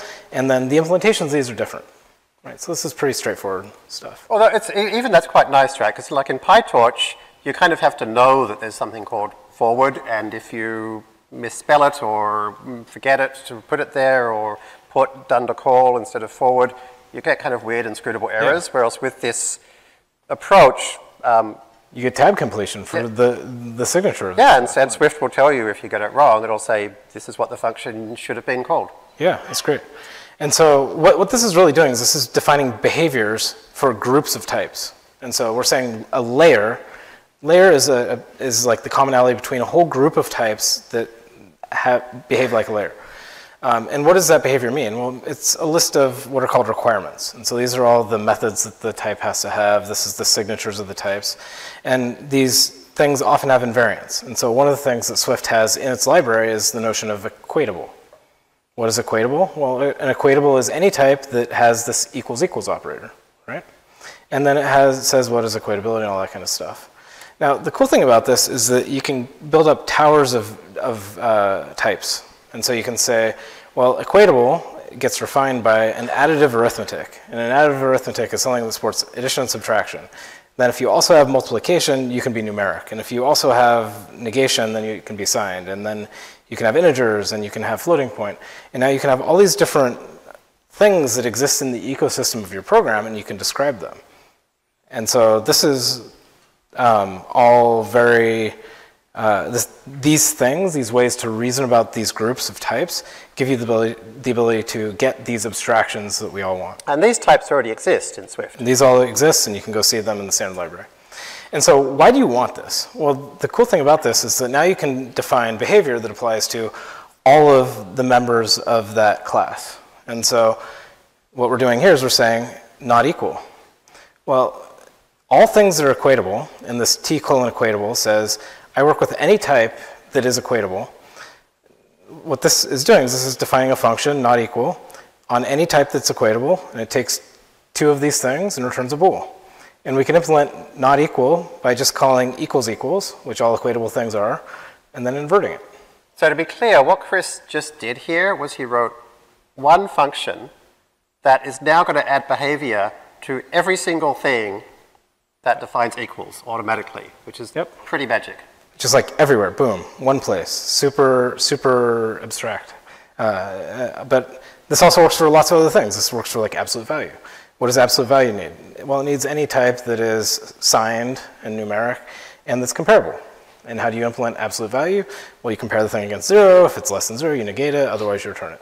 Like super simple. But now everything that is a number that can be compared is uh, now absable. Right? Types, same thing. All these things work the same way. And so with dictionary, what you want is you want the keys in a dictionary all have to be hashable. This is how the dictionary does its efficient lookups and things like that. The value can be anything though. And so all these things kind of stack together and fit together like building blocks. One of the really cool things about this now is that we can start taking this further. So we talked about e uh, not equal building on top of equal equal. In the last lesson, we defined this is odd function. We defined it on int. Well, because this protocol exists, we can actually add it as a method to all things that are binary integers. And so we can say, hey, put this on all binary integers and give them all an isodd method. And now I don't have to put isodd on int and int16 and int32 and the C weird things. And we, we could just do it in one place, and now everybody gets this method, right? On layers, right? This is something that's closer to home. Here we can say, hey, I want a inferring from method that does some learning phase switching magic nonsense. But now because I put this on all layers, well, I can use it on my model because your model's a layer, my dense layer, that's a layer. And so this thing allows this one simple idea of defining groups of types and then broadcasting behavior and functionality onto all of them at once is, is really powerful. Yeah, I mean, it's, it's like Python's monkey patching, which we use all the time, but A, it's, it's not this kind of hacky thing with weird undefined behavior sometime, and B, we don't have to monkey patch lots and lots of different places to add functionality to lots of things. We just put it in one place, and the functionality gets sucked in by everything that can use it. Yeah, and, and remember, extensions are really cool because they work even if you didn't define the type. And so what you can literally do is you can pull in some C library, not that we love C, but with some C library, and add things to its structs. I mean, this is, it, it Or have things automatically added to those structs because Absolutely. it already supports those operations. Yeah, so, so like all this stuff composes together in a really nice way, which allows you to do very powerful and very simple and beautiful things. So mixins uh, show up and you can control where they go. And so here's an example. This is something that Jeremy wrote. And so he defined his own protocol countable. And he says, things are countable if they have a variable named count. And the only thing I care about for countable things is I can read it. I don't have to write it. That's what the get means. And so he says, array is countable. His OpenCV mat thingy mm-hmm. is countable. Like all All these the number of pixels in it, yep. yeah, all these things are countable. And then Jeremy says, hey, well, take any sequence. Let's add a method or a, a property called total count to anything that's a sequence. So a sequence is the same as Python's iterable, so anything you can Yeah. iterate through. Exactly. And so this is things like uh, dictionaries and arrays and ranges and like all these things are sequences. And it says that so long as the element is countable, so I have an array of countable things, then I can get a total count method or a property, right? And the way this is implemented is it just says, hey, map over myself, get the count, add all the counts up together, and then I have a total count of all the things in my array. And now if I have an array of arrays, an array of mats, a lazy mapped collection sequency thingy of mats, whatever it is, now I can just ask for its count or its total count. Hey, Chris, this, um, so this functionality you're describing is basically the same as what Haskell calls type classes? Yes. Is that right? Yeah. Um, so is this, is this kind of like stolen from, from Haskell? It's borrowed. Um, I mean, so the interesting thing for me We, here is we let them play with it too. Um, well, the interesting thing, the reason I ask is because like I've tried to use Haskell before many times and have always failed. I'm clearly not somebody who's smart enough to use Haskell. Yet I wrote the code that's on the screen right now like a couple of days ago and I didn't spend a moment even thinking about the fact I was writing the code. It was only like the next day that I looked back at this code and I thought like, wow, I just did something which no other language I've used both could do and I was smart enough to do it. Like it kind of makes this what I think of as like super genius functionality available to normal people. Yeah, and so, so back at the very, very beginning of this, we talked about Swift's goal is to be able to take good ideas wherever they are and assemble them in a tasteful way, and then be not weird. Like being not weird is a pretty hard but important goal.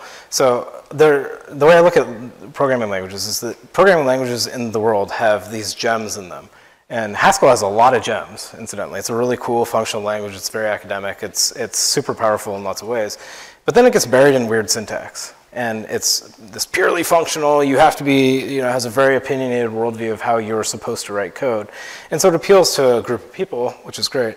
But then it gets ignored by the masses. And to me, it's really sad that the great technology in programming languages that's been invented for decades and decades and decades gets forgotten just because it happened to be put in the wrong place. Yeah, And so I mean, and it's not, just, it's not just that, but it's even the whole way things are described are all about Yes.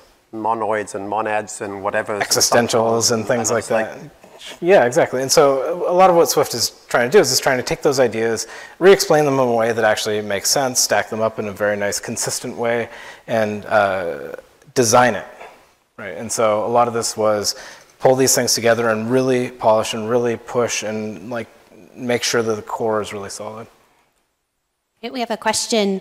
How does the Swift protocol ap- uh, approach avoid the inheritance tree hell problem in languages like C Sharp, where you end up with enormous trees that are impossible to refactor? Yes. And similarly, what are the top opinions around using the mixin pattern, which has been found to be an anti pattern in other contexts? Yeah, so the way that Swift implements this is completely different than the way that uh, subclasses work in C Sharp or other or Java or other object-oriented languages. There, what you get is something called a V-table, and so your type has to have one set of mappings for all these different methods, and then you get very deep inheritance hierarchies. In Swift, um, you end up adding methods to int. Like so, we on the last slide added a method is odd to all the integers. Integers don't have a v-table. that would be a very inefficient thing to do. And so the implementation is completely different. The trade-offs are completely different. Um, uh, I will, at the end of this, I think, in a couple of slides, have a good pointer that will give you a very nice deep dive on all that kind of stuff. So also there's the binary method problem, and there's a whole bunch of other things that are very cleanly solved in Swift protocols. Okay. And then there was also a question out of, out of curiosity, could you give an estimate of how long it would take someone to go from a fair level of knowledge in Python, TensorFlow, deep learning, uh, to start being able to be a competent contributor to Swift for TensorFlow? Yeah, so we've designed Swift in general to be really easy to learn, and so that you can learn as you go. And this course is a little bit very, it's very bottoms up, but a lot of Swift, just like Python, was designed to be taught. And uh, what you start with when you when you go in from that perspective is you get a very top-down kind of perspective. And what I would do is I would start with the uh, Google for a Swift tour, and you get a very nice top-down view of the language, and it's it's very approachable. And like just pick something that like is in FastAI, in some FastAI notebook now, we haven't implemented it yet, and pop it into a notebook, right? And the first time you try to do that, you'll get all kinds of weird errors and abstractions, and you won't know what's going on, but after a But few weeks... on the forum, and Yep. that's what the community is about. Yeah, lots of help from the forum, and Chris and I are both on the forum, and there's the SOTF teams on the forum. Um, we'll help you out, and in a few weeks' time, you'll be writing stuff from scratch and um, finding it a much smoother process. Yeah. So I want to address one weird thing here and give you something to think about. And um, you might wonder, okay, well, Jeremy wants to know all the countable things. Uh, we have arrays and we have mat, and we have to say that they are countable.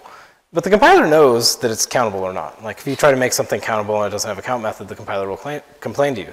So why do we have to do this? Well, let's talk about a different example. And the, the answer is that protocols are not just about methods. This is also related to the C-sharp question. But the behavior of those methods also matters. And so here we're going to switch domains and talk about shapes. And so I have shape. All shapes have to have a draw method. Right? This is super easy. And what I can do is I can define an octagon and tell it how to draw. I can define a diamond, tell it how to draw, using exactly the same stuff that we just saw before. Really easy. And the cool thing about this is now I can define a method, refresh, and now refresh, all it does is it clears the canvas and draws a shape. And so all shapes will get a refresh method. And so if you go do a tab completion on your octagon, it all just works. But what happens if you have something else with the draw method? So cowboys know how to draw. It's a very different notion of what drawing is, right? Um, we don't want cowboys to have a refresh method. It doesn't make sense to clear the screen and then pull out a gun. that's, that's, that's not what we're talking about here. And so the, the idea of protocols is really, again, to categorize and describe groups of types. And one of the things that you'll see, which is kind of cool, is you can define a protocol with nothing in it. So it's a protocol that doesn't require anything. And then you go say, I want that type, that type, that type, that type to be in this group. And I'll, I will have a way to describe that group of types that can be totally random, whatever makes sense for you. And um, and then you can do reflection on it. You can do lots of different things that now apply to exactly that group of types. And, and I actually found, I still find, um, that this kind of protocol-based programming approach is like the exact upside down opposite of how I've always thought about things. It's kind of like you don't create something that contains these things, but you kind of like, I don't know, somehow shove things in. And uh, the more I've looked at code that works this way, the more I realize it, it tends to be clearer and more concise, and, but I, I still find it a struggle because I just don't have that, that sense of this is, this is how to go about creating yeah. these kinds of APIs. And, and, one of the things you'll notice is that we added this protocol to array in an extension. Right, so unlike interfaces in a Java or C-sharp, C-sharp type of language, we can take somebody else's type and then make it work with the protocol after the fact. And so I think that's, that's a superpower here that allows you to work with, work with these values in different ways. So this is a super brief, high-level view of protocols. Protocols are really cool in Swift, and they draw on a lot of great work in the Haskell and other communities. Um, there's a bunch of talks, and even, even Jeremy wrote a blog post that's really cool that talks about some of the, the fun things you can do.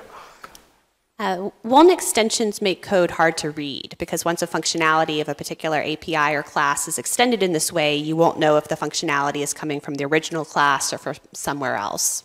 Yeah, so that's something you let go of when you write Swift code.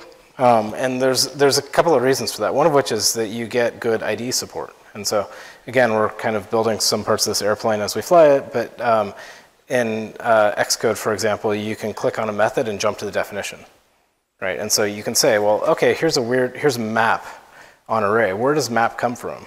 Well, map isn't defined on array. Map, filter, reduce, those aren't defined on array. Those are actually defined on sequence. And so all sequences have map, filter, reduce, and a whole bunch of other stuff and so arrays are, of course, sequences, and so they get all that behavior. And so the fact that it's coming out of sequence, as a Swift programmer, particularly when you're starting, doesn't really matter. It's and actually, you know, we've, functionality. we've had this same discussion around Python, which is like, oh, Jeremy imports star, and therefore I don't know where things come from, because the only way I used to know where things come from is because I looked at the top of a file and it would say from blah import foo, and so I know foo comes from blah. And we had that whole discussion earlier lesson where I said, that's not how you figure out where things come from. You learn to use jump to symbol in your IDE, or you learn to use Jupyter Notebook's uh, ability to show you where things come from. That's, that's, that's just the way to go. Thank you. Um, I feel that Scala is often a very nicely designed language um, that, to my knowledge, doesn't lack in terms of the features I've seen so far in Swift. Is that true? And if so, is the choice of Swift more about JVM as opposed to non JVM runtimes and compilers? Yeah, so Scala is a great language. Um, Scala is one of the, my, the way I would explain Scala is that they are very generous in the features they accept.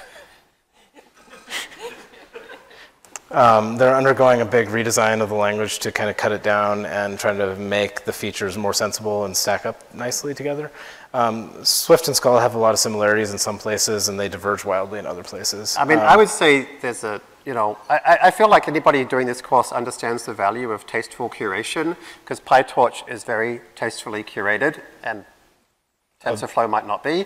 Um, and so like using a tastefully curated, carefully put together API like Swift has and like PyTorch has, I think it makes life easier for us as data scientists and programmers. Yeah, but, but I think the other point is also very good. Um, so Scala is very strong in the JVM, Java virtual machine ecosystem, and it works very well with all the Java APIs, and it's great in that space. Um, Swift is uh, really great if you don't want to wait for JVM to start up, so you can run, run a script, right? And so there's, there's nice duals and they have different strengths and weaknesses in that so sense. do we have time before our break that I can quickly show how this all goes mm -hmm. together? Um, uh, great. I, I, probably can't stop you even if I wanted to. so, um, so just to, just to come back to this um, 8C, um, right? You can basically see what's happened here. We've defined this protocol saying these are the things that we want uh, to have in a Datablocks API. And then we said here is a specific example of a Datablocks API. Now, at this point, uh, we, we're missing one important thing, which we've never actually created the bit that says this is how you open an image and resize it and stuff like that, right? So um, we just go through and we can say, let's call dot .download, let's call dot .get items. Um, we can create nice, simple little functions now. We don't have to create complex class hierarchies to say things like, tell me about some sample, and it prints it out, right? And we can create a single little function which creates a train and a valid. This is neat, right? This is something I really like about this style of programming is this is a named tuple. And I really like this idea that we don't have to create our own struct and class all the time. Um, it's a kind of a very functional style of, of programming where you just say, I'm just going to define my type as soon as I need it. And this type is defined as being a thing with a train and a thing with a valid. So as soon as I whack brackets around, parentheses around this, it's both a type and a thing now. And so now I can partition into train and valid, and that's returned something where I can grab a random element from valid and a random element from train. We can create a processor, and again, it's just a protocol, right? So remember, a processor is a thing like um, for categories, creating a vocab of all of the possible categories. And so a processor is something where there's some way to say, like, what is the vocab? And if you have a vocab, then process things um, from text into numbers or deprocess things from numbers into text. And so we can now go ahead and create a category processor, right? So here's like grab all the unique values, and here's label to int, and here's int to label. Why are you using parentheses on your map, Jeremy? Gosh. I didn't write that. there we go. Yeah. Um, so um, so now that we have a category processor, um, we can try using it to make sure that it looks sensible. And um, we can now label and process our data. So we first have to call label, and then we have to call process. Um, now, given that we have to do those things in a row, rather than creating whole new API functions, we can actually just use function composition. Now, in PyTorch, we've um, often used a a thing called compose. But actually, it turns out to be much easier, as you'll see, if you don't create a function called compose, but you actually create an operator. And so here's an operator, which we will call compose, right, which is just defined as first call this function, f, and then call this function, g, on whatever the first thing you passed it is. So now we've defined a, a new function composition which first labels and then processes. And so now Here's something which does both.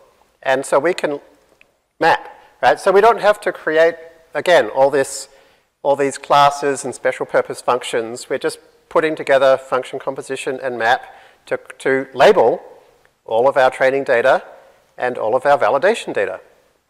And so then finally, we can say, well, this is the final structure we want. We want a training set, we want a validation set, and let's again create our own little type in line right? So, so an array of tuples. Yeah, so our training set's an array of named tuples. Our validation set is an array of named tuples. And so we're going to initialize it by passing both in. And so this basically is now our data blocks API. There's a function called make split labeled data. And we're just going to pass in one of those configuration protocols we saw. So we're going to be passing in the ImageNet configuration protocol, um, the thing that conforms to that protocol. And we're going to be passing in some processor, right, which is going to be a category processor. And it's just going to call download, get the items, partition, map, label of, and then initialize the processor state, and then do label of, and then process is our processing function, and then map that, right? And so that's it. So now we can say, to use this with OpenCV, we define how to open an image. There it is. We define how to convert BGR to RGB, because um, OpenCV uses BGR. That's how old it is. Uh, we define the thing that resizes to 224 by 224 with bilinear interpolation. And so the process of opening an image is to open, then BGR to RGB, and then resize, and we compose them all together, and that's it, right? So now, um, now that we've got that, we then need to convert it to a tensor. So the entire process is to go through all those transforms and then convert to a tensor. Uh, and then I'll skip over the bit that does the mini batches. Um, um, uh, there's a thing we've got to do the mini batches with that um, split labeled data we created, and we then just pass in the transforms that we want, and we're done, right? So the, the data blocks API in kind of functional-ish, protocol-ish Swift, you know, ends up being a lot less code to write and a lot easier for the end user, because now for the end user, there's a lot less they have to learn to use this data blocks API. It's really just like the, the normal kind of maps and function composition that hopefully they're familiar with as Swift programmers. So I'm really excited to see how this came out because it, it, it solves the problems that I've been battling with for the last year with the Python data blocks API, and it's been you know, really just a couple of days of work to, to get to this point. And, and, one, of the, one of the things that this points to in Swift that is a big focus is on building APIs. And so, again, we've been talking about this idea of being able to take an API, use it without knowing how it works. It could be in C or Python or whatever, but it's about building these things that compose together and they fit together in very nice ways. And um, with Swift, you get these clean abstractions. So once you pass in the right things, it works. You don't get the stack trace coming out of the middle of somebody else's library that now you have to figure out what you did somewhere along the way that caused it to break. Yeah. At least, at least not nearly as often. So to see what this ends up looking like, I've created a, a package called datablock. It contains two files in. It's got a, package, a package.swift and it's got a main.swift. And main.swift is that, right? So all that in the end to actually use it, that's how much code it is to use your data blocks API and grab all the batches. So it comes out super pretty. Yeah. So let's take a five minute break and uh, see you back here at 8.05. Okay, so um, we're, we're gradually working our way back to um, what we briefly, we briefly saw last week, um, uh, Notebook 11, training ImageNet, and we're gradually making our way back up to, to hit that point again. Um, it's a bit of a slow process because along the way we've had to kind of invent float and learn about a new language and stuff like that. But we are actually finally up to 0.2, a fully connected model, believe it or not. Um, and the nice thing is at this point, things are going to start looking more and more familiar. Um, one thing I will say though that um, can look uh, quite unfamiliar is the amount of typing that you have to type um, with Swift. Um, but there's actually a trick which is you don't have to type all these types. You don't have to Swift. type types. um, what you can actually do is you can say like, oh, you know, here's a type I use all the time, tensor, bracket, float, and I don't like writing angle brackets either. So let's just create a type alias called TF. And now I just use TF everywhere. Now to be clear, um, a, a, lot of um, real Swift programmers in their production code might not like doing that a lot. I mean, personally, I do do that a lot, even not in notebooks. Um, but, you know, you might want to be careful in, in your, if you're doing um, actual the, Swift programming. The way I would look at it is if you're building something for somebody else to use, if you're publishing an API, you probably don't want to do that. Yeah. But um, if, you're, if you're hacking things together and you're playing and having fun, it's no problem at all. Yeah, I mean, different strokes. I, I personally, I would say if I'm giving somebody something that's the whole thing's tensor floats, I would do it. But anyway, in a notebook, I definitely don't want to be typing that. So in a notebook, make it easier for your interactive programming by knowing about things like type alias. Yeah, that's something we also want to make better just in general, so that these things all just default to float. Yeah. You don't have to worry about it. That'll be nice. Um, so then we can um, write a normalized function that looks exactly the same as our Python normalized function. And we can use mean and standard deviation just like in Python. And we can define tests with asserts just like in Python. So this all looks identical. We can calculate n and m and c, the same uh, constant, the variables that we used in Python in exactly the same way as Python. Um, we can create our weights and biases just like in Python, except um, there's a nice uh, kind of uh, rule of thumb in the Swift world, which is anytime you have a function that, that's going to create some new thing for you, we always use the init constructor for that. So for example, generating random numbers and dumping them into a tensor, that's constructing a new tensor for you. So it's actually, you're actually calling tensorfloat.init here. And so if you're trying to find where is it in an API that I get to create something in this way, you should generally look for the in the init section. So this is how you create random numbers in Swift for TensorFlow. It's how you create a tensor of zeros in Swift for TensorFlow. So here's our weights and biases. Um, this is all the same stuff. We just basically copied and pasted it from the PyTorch version with some very, very minor changes. Create our linear function, um, except rather than at, we use dot because that's what they use in Swift for TensorFlow. If you're on a Mac, that's option 8. Uh, if you're uh, on anything else, it's compose key dot equals. Um, and so now we can go ahead and calculate linear functions. We can calculate ReLU exactly the same as PyTorch. Um, we can do proper Kaiming init exactly like PyTorch. And so now we're at the point where we can define the forward pass of a model. And this looks basically, again, identical to PyTorch. A model can just be something that returns some value. So that the forward pass of our model really just builds on stuff that we already know about, and it looks almost identical to PyTorch, as does a loss function. Right?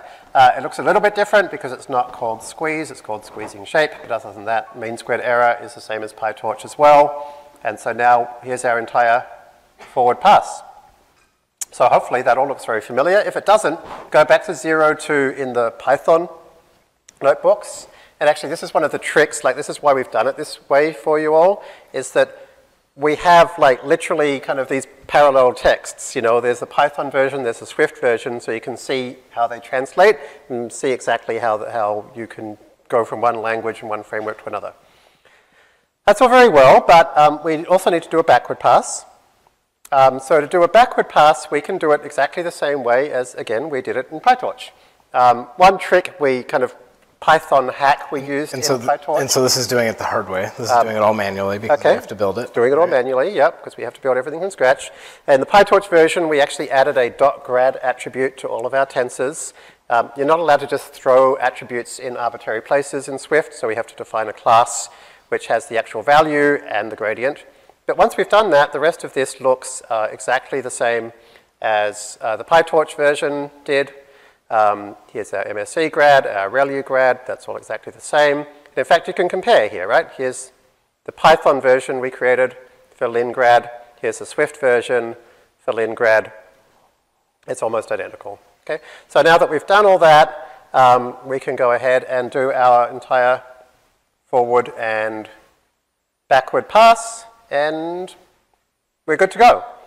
Um, but it could be so much better. Well, you skipped past the big flashing red lights that says, don't do this. Did you miss that part? Tell me about it. Oh, okay. So let's, let's talk about this. So this is defining a class and putting things in classes, and we haven't seen classes yet, at least not very much. That's true. because before we've used things that looked like classes, but they didn't say class on them, they said struct on them. Yes, and so what is that? And so, um, um, uh, so, so let's, let's play a little game. And so let's talk about the, this idea of values and references, because that, that's what a, that's what struct versus class really means in Swift. A value is a struct thing, and a reference is a class thing. And so let's talk about Python. Here's some really simple Python code, and this is, there's no tricks here. What we're doing is we're assigning 4 into A, we're copying A into B, we're incrementing A and printing them out. And so when you do this, you see that A gets incremented, of course. B does not, of course. This all makes perfect sense. In Swift, you do the same thing, you get the same thing out. Right? This is how math works, right? Um, all very straightforward. Let's talk about arrays. So here I have an array or list in Python, and I put into x, and then I copy x into y. I add something to x, and it has it. Uh, I have to point with this. So, and then it has the extra item. That makes perfect sense, right? But what happens to y? What? What just happened here? I, I just added something to x, and now y changed? Now you have, what, what is going on here? Well, we learn, we learn that there's this thing called a reference, and we learn that it does things like this, and we learn when it bites us. What happens in Swift? Well, Swift has arrays, it doesn't have lists the same way. And so here we have, again, it's identical code except var. Um, we put in 1 and a 2 into x, we copy x into y, we add something to x, we print it out, we get the extra element. But y is correct. What just happened? So this is something called value and reference semantics. And in Swift, arrays, dictionaries, tensors, like all these things have what's known as value semantics. And let's dive in a little bit about what that is. So a value in something that has value semantics is a variable that, sorry, this is self-referential. When you declare something in your code, you're declaring a name. And if it's a name for a value, that name stands for that value. Right? X stands for the array of elements that it contains. Um, with, this is how math always works. This is what you expect out of basic integers. This is what you expect out of basic things in, uh, that you interact with on a daily basis. Reference semantics are weird if you think about it. So what we're doing is we're saying that X is a name for something else. And so we usually don't think about this until it comes around to bite us. And so this is kind of a problem. And let's dive in a little bit to understand why this causes problems. So here's a function. It's do thing. It's something that Jeremy wrote with a very descriptive name. Um, and it takes t, and then it goes and updates this, and that's fine, right? Um, it's super fast. Everything is good. You move on and put in a workbook, and then you build the next workbook. Next workbook calls in a do thing, and you find out, oh, well, it changed the tensor I passed in, but I was using that tensor for something else, and now I've got a problem because it's changing a tensor that I wanted to use. And now I've got this bug, I have to debug it, and I find out the do thing is causing the problem. And so what do I do? I go put a clone in there.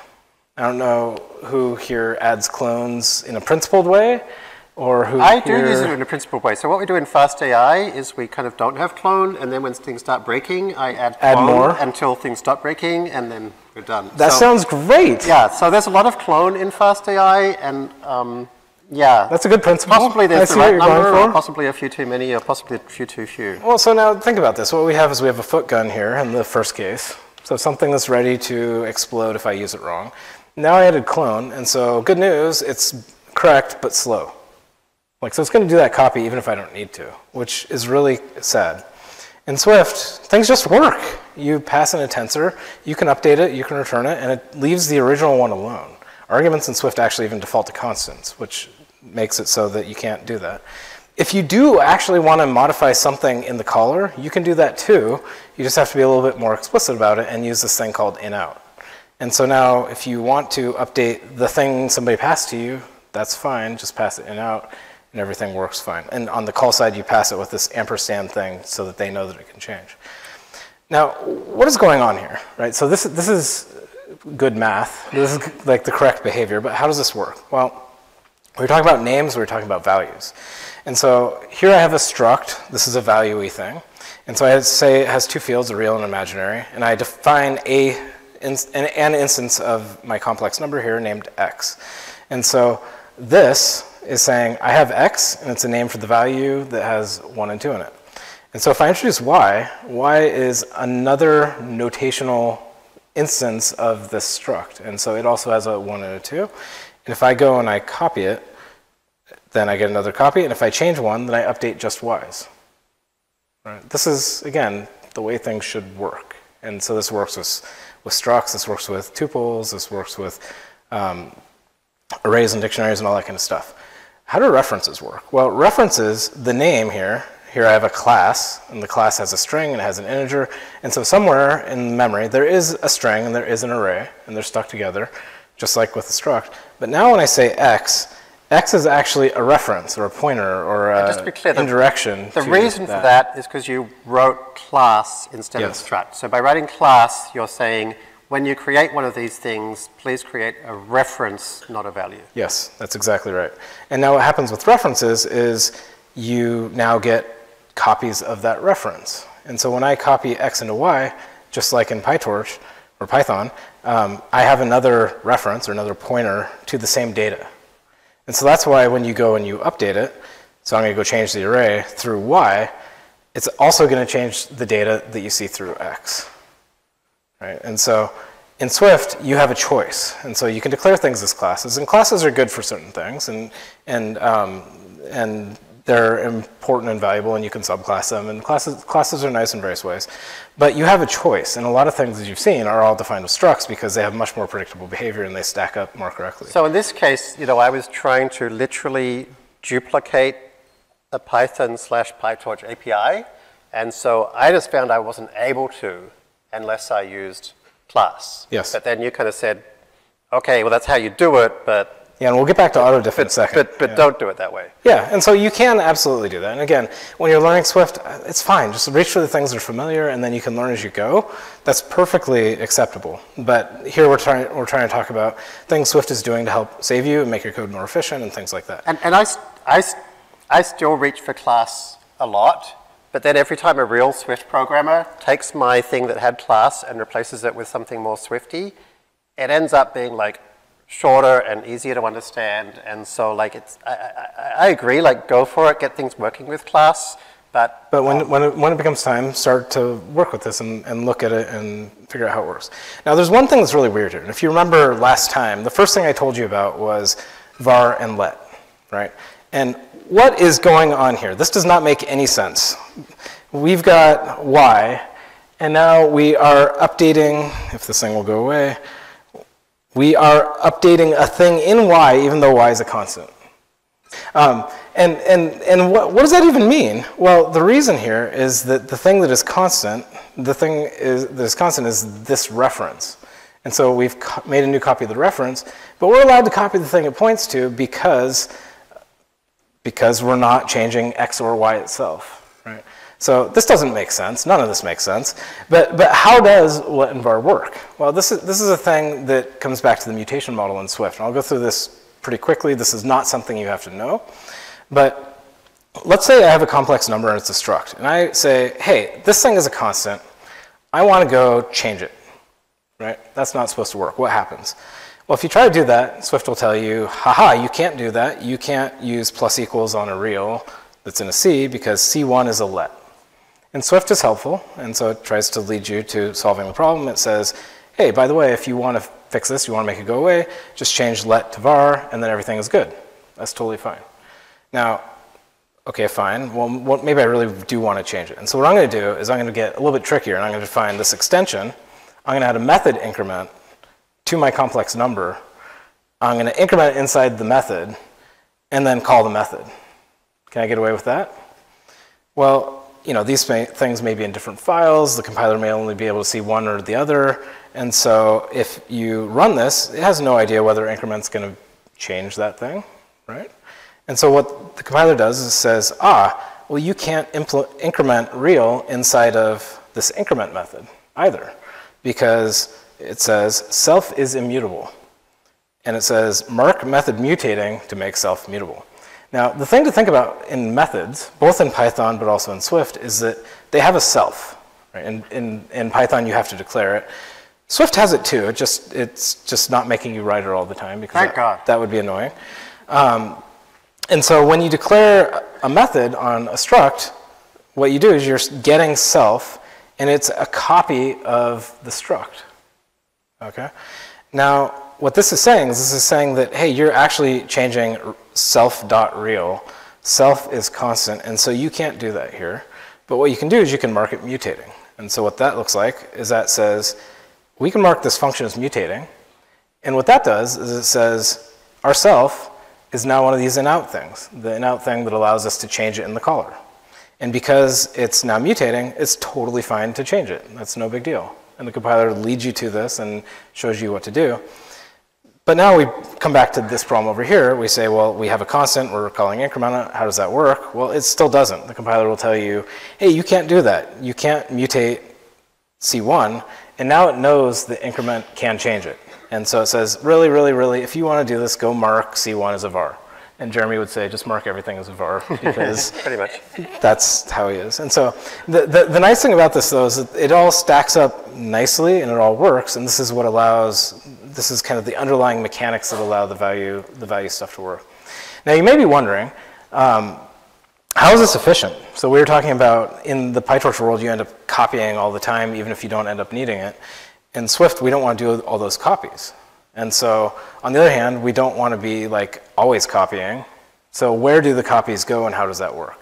So if you're using arrays or arrays of arrays of arrays of dictionaries of arrays of like super nested things, um, what ends up happening is array is a struct. You might be surprised. Um, and inside of that struct, it has a pointer or a reference. And so the elements of an array are actually implemented with the class. And so what I have here is I have A1, which is some array, and I copied it to A2, and I copied it to A3, I copied it to A4 because I'm passing it all around. I'm just passing this array around, no big deal. And what happens is I'm just copying this, this reference, and it happens to be buried inside of a struct. And so this passing around arrays, full value semantics, super cheap, no problem. It's not copying any data, it's just passing the pointer around, right? Just like you do in C or even in Python. The magic happens when you go and you say, okay, well, I've now got A4. And so all these things are all sharing this thing. I'm going to add one element to A4.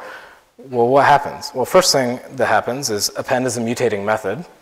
And so it says, hey, I'm this thing called a copy on write type. And so I want to check to see if I'm the only user of this data. And turns out no, lots of other things are pointing to our data here. And so lazily, because it's shared, I'll make a copy of this array. And so I only get a copy of the data if it's shared and if it changes. So that should be 1, 2, 3, 92? Yeah, that should be 1, 2, 3, 92. Um, I am buggier than Swift. Um, now, the interesting thing about this is because of the way this all works out is if you go and you change A4 again, it goes and just updates it in place. There's no extra copy. And so the cool thing about this is that you get exactly the right number of copies, and it just works. You as a programmer don't have to think about this. This is one of the things that uh, Swift is just like subtracting from your consciousness of the things you have to worry about, which is really nice. And so a really nice aspect of this is that you get algebra, like values work the way values are supposed to work. You get super high performance. Um, we get to use more emojis, which I always appreciate. Um, if you want to learn more about this, because this is also a really cool, deep topic that you can geek out about, particularly if you've done object-oriented programming before, there's a lot that's really nice about this. There's a video you can see more. So let's go back to that uh, autodiff thing. And let's actually talk about autodiff um, from a different perspective. So this is the autodiff system implemented the same way as uh, the, the manual, manually done PyTorch version. And we didn't like it because it was using references. Let's implement it, again, the very low-level manual way um, in Swift. But before we do, let's talk about where we want to get to. So Swift has built-in, and Swift for TensorFlow has built-in automatic differentiation for your code. So you don't have to write gradients manually, you don't have to worry about all this stuff. And the way it works is really simple. There are functions like gradient, and you call gradient, and you pass it a closure, and you say, what is the gradient of x times x?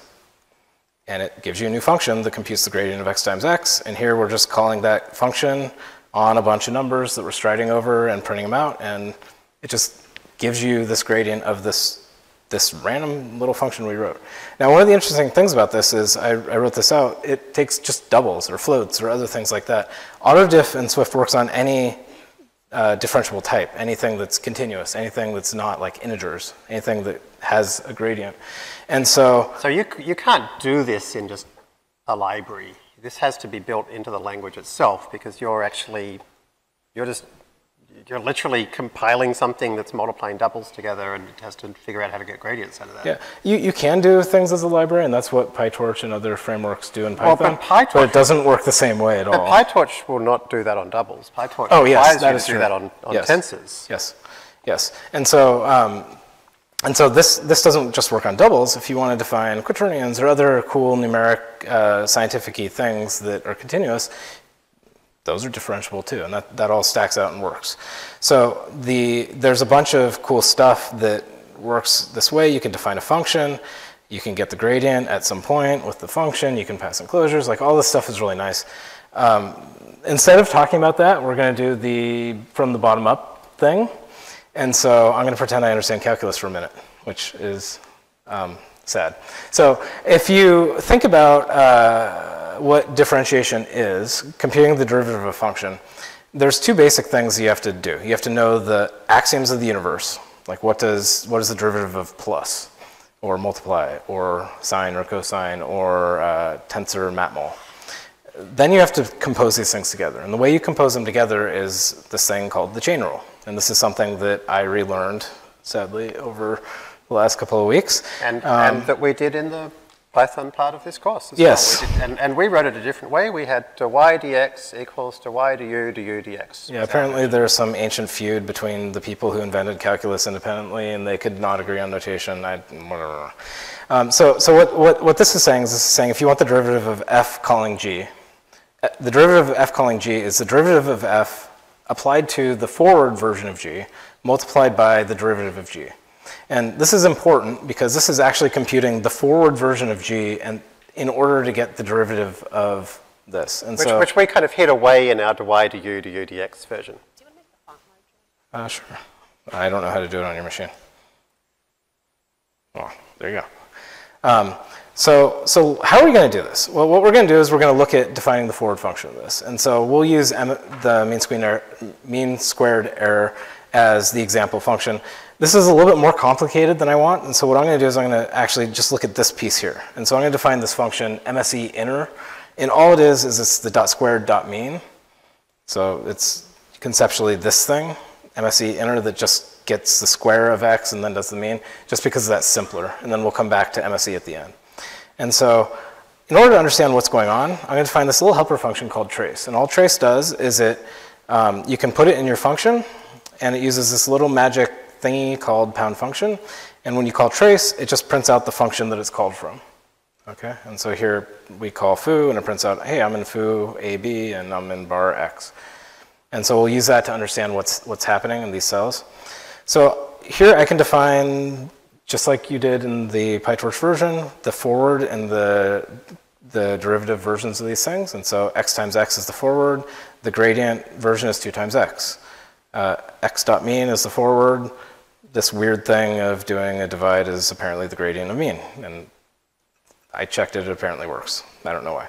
Um, so then when you define the forward function of this MSE inner function, it's just saying give me the square and, and take the mean. Super simple. And then we can use the chain rule, and this is literally where we use the chain rule to say, okay, we want the gradient of one function on another function, just like the syntax shows. And the way we do that is we get the gradient of mean and pass it to the inner thing and multiply by the gradient of the other thing. And so this is really literally the math interpretation of this stuff. And given that we have this, we can now wrap it up into more functions, and we can say, uh, let's compute the forward and the backwards version of MSE. We just call the forward version, we call the backward version, and then we can run it on some example data, one, two, three, four. And just to be clear, the upwards, upside down triangle thing is not an operator here, it's just using Unicode as part of the name Yeah. of that function. That's the gradient delta symbol thingy. Um, I found that on Wikipedia. um, so when you run this, what you'll see is it computes the forward, forward version of this thing. It runs square and then it runs mean. And then it runs square again, and then it runs the backward version of mean and square. And this makes sense given the chain rule, right? We have to recompute the forward version of square to do this. And for this simple example, that's fine. Um, square is just one multiply. But consider it might be a multiply of uh, megabytes worth of stuff. It's not necessarily cheap. And when you start composing these things together, this recomputation can really come back to bite you. So let's look at uh, what we can do to factor that out. So there's this pattern uh, called chainers and what we call the value and chainer pattern. And uh, what we want to do is we want to find each of these functions, like square or mean or your model, as uh, one function that returns two things. And so what we're going to do is we're going to look at the, uh, the other version of calculus's form of this. And so when you say that the derivative of x squared is 2x, you actually have to like move the dx, ddx over with it. And this matters because the functions we just defined are actually only, uh, those are only valid if you're looking at a given point. That they're not valid if you compose it with another function. This and is just so another way of writing the chain rule. It's the exact same thing. And so we're going to call this the gradient chain. And all it is is an extra multiplier. And just Chris, I, I just need to warn you, in, in one of the uh, earlier courses, I got my upside down triangles mixed up as you just did. So That's not the delta. other way around is delta, and this one is called nabla, and I only know that because I got in trouble for screwing it up from Okay. the survey last time. Thank you, Jeremy, for saving me. Um, so, so all this is, is it's the same thing we saw before. It's just has an extra multiplication there because that's what the chain rule apparently really says. So what we can do now is, now that we have this, we can actually define this value with chain function. And check this out. What this is doing is it's wrapping up both of these things into one thing. So here we're returning the value when you call this. We're also returning this chain function. And so And can now, you just explain this um, TF arrow TF, like what is, how do Yeah, I read that? TF arrow TF? So what this is doing is this is saying we're defining a function square VWC. It takes x. It returns a tuple, right? We know what tuples are. These are fancy tuples like you were showing before where the two things are labeled. So there's a value member of the tuple and there's a chain label of the tuple. The value is just a tensor of float. The chain is actually going to be a closure. And so this says it is a closure that takes a tensor of float and returns a tensor of float. So that's just a way of defining a type in Swift where the type is itself a function. a function. Yep. And so what square VWC is going to be is it's going to be two things. It's the forward thing, the multiply x times x, and that's the backwards thing, the thing we showed just up above that does uh, ddx times 2 times x. And the forward thing is the actual value of the forward thing. Yep. The backward thing is a function that will calculate the backward Yep. thing. And the chain here is returning a closure, and so it's not actually doing that computation. So we can do the same thing with mean, and there it's the same computation. And so now what this is doing is it's a little abstraction that allows us to pull together the forward function and the backward function into one little unit. And the reason why this is interesting is we can start composing these things. And so this MSE inner thing that we were talking about before, which is mean followed by square, or square followed by mean, we can define, we just call square VWC, and then we pass the value that it returns into the mean VWC, and then the result of calling this thing is mean.value, and the derivative is those two chains stuck together. And so if we run this, now we get this really interesting behavior where when we call it, we're only calling the forward functions once and the backward function once as well. And we also get the ability to separate this out. And so here what we're doing is we're calling the VWC for the whole computation, which gives us the two things. And here we're using the value. So we got the forward version of the value. And if that's all we want, that's cool. We can stop there. But we don't. We want the backward version too. And so here we call it with we call the chain function to get that derivative. And so that's what gives us both the ability to get the forward and the backward separate, which we need, but also it makes it so we're not getting the recomputation because we're reusing the same values within these closures. So, so give, given that we have these like infinitesimally tiny little things, let's talk about applying this pattern. I'll go pretty quickly because the details aren't really important. So ReLU is just max with zero, and so we're using the same, the same thing as ReLU grad from before. Here's the lin grad using the PyTorch style of doing this, and so all we're doing is we're pulling together the uh, forward computation in the value thing here, and then we're doing this backward computation here, and we're doing this with closures. So can I just talk about this difference? Because like, it's Yes. really interesting because, you know, this is the version that Sylvain and I wrote when we just pushed it over from, from, from PyTorch. And um, we actually did the same thing that Chris just did, which is we avoided calculating the forward pass twice. And the way we did it was to cache away in in.grad and out.grad um, the, the, and, dot inner, the intermediate values, so that we could then use them again later without recalculating them. Now, what Chris is showing you here is doing the exact same thing, but in a much more um, automated way, right? It's a very mechanical process. Yeah, so rather than having to kind of use this kind of very heuristic, hacky, one at a time approach of saying, what do I need at each point? Let's save it away in something or give it a name and then we'll use it again later. It's kind of interesting. And also, without, without any mutation, Yep. this functional approach is basically saying, let's package of everything we need and hand it over to everything that needs it. And so that way, we never had to say, what are we going to need for later? It just, it just works. So it kind of like, you'll see all the steps are here, out times blah dot transposed, out times blah dot transposed, right? But we never had to think about what to cache away. And so the, the this is not something I would want to write ever again manually, personally. Um, uh, but the advantage of this is it's really mechanical and it's very structured. And so when you write MSE, the full MSE, what we can do is we can say, well, it's that subtraction, then it's that dot mean dot squared, and then on the backwards pass we have to undo that the squeeze and the subtraction thingy. And so it's very mechanical how it plugs together.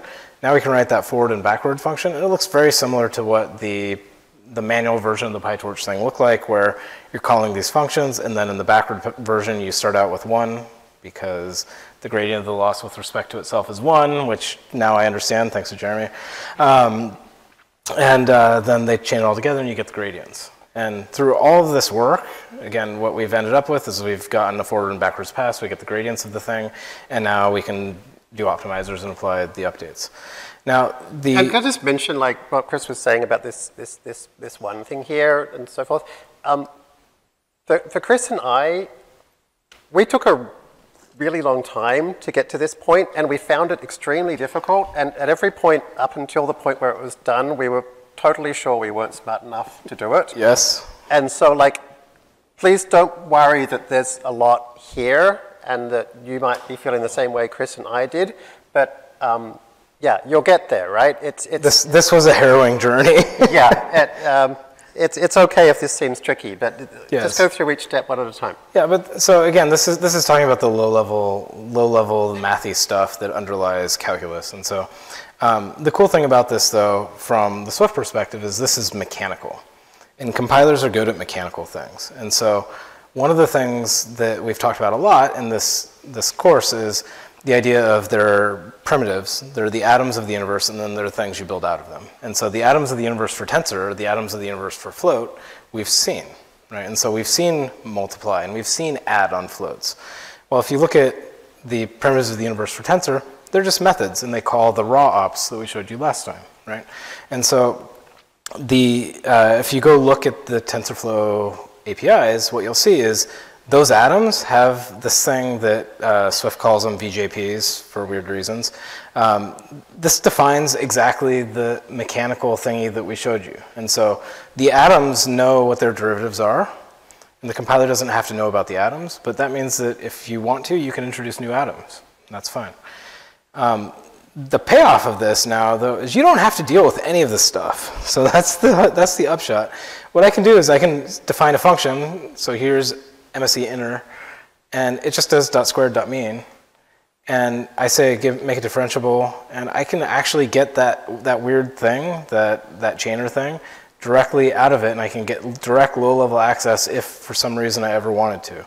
Um, generally, you don't, and that's why you say give me the gradient, or give me the value and the gradient, and so this stuff just works. And the cool thing about this is this all stacks up from very simple things, and it composes in a very nice way. And if you want to, you can now go hack up the internals of the system and play around with the guts, and it's exposed and open for you. But if you're like me, at least, uh, you would stay away from it and just, just write math. Well, I mean, sometimes we do need it, right? So um, you'll remember when we did um, the, um, uh, the heat maps, right? To calculate those heat maps, we actually had to dive into the, um, you know, registering a backward uh, callback in PyTorch and grab the gradients and then use those in our calculations. And so, you know, there's Yeah. plenty of stuff we come across where you actually need to Yeah. work with this. Yeah, and there, there are some really cool things you can do too. So now let's, uh, we ended up with a, with a model, and so this is something that uh, I'd never got around to doing the fix me. So here's our forward function. Here we're implementing it with matmuls and with uh, the lin function, the ReLUs, and things like that. Um, the, the bad thing about defining a forward function like this is you get tons of arguments to your function. And so some of these arguments are things that you want to feed into the model. Some of these things are parameters. And so as a refactoring, what we can do is we can introduce a struct, you might be surprised, that puts all of our parameters into it. And so here we have my model, and we're saying it is differentiable. And what differentiable means is has a whole bunch of floating point stuff in it, and uh, I want to get the gradient with respect to all of these. Okay?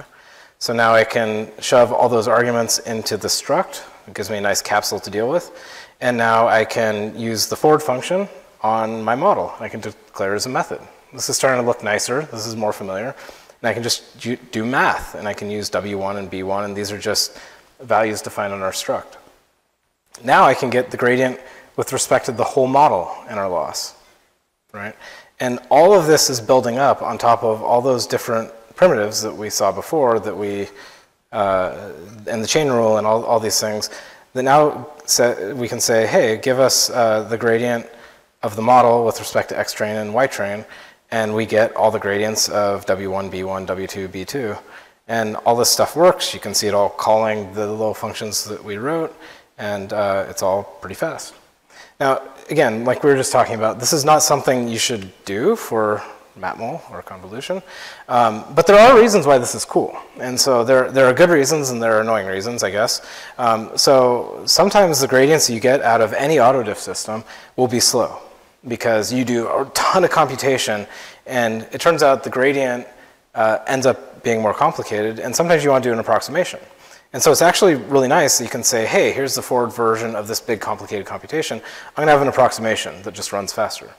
Uh, sometimes you'll get numerical instabilities in your gradients. And so you can define, again, a different implementation of the backwards pass, which can be useful for uh, exotic cases there are some people on the far research side of things that want to use like learning and things like that to learn gradients, which is cool. And so having the system where everything is just simple and composes but is hackable is really nice. Um, there are also uh, always going to be limitations of the system. Now, one of the limitations that we currently have today, which will hopefully be fixed by the time the video comes out, is we don't support control flow and autodiff. And so if you do an if or a loop, uh, like an RNN, uh, Autodiff will say, ah, I don't support that yet. But that's okay because you can do it yourself. Um, so we'll go see an example of that um, in 11. There we go. And so what we have implemented here, and we'll talk about layers more in a second, is we have this thing called switchable layer.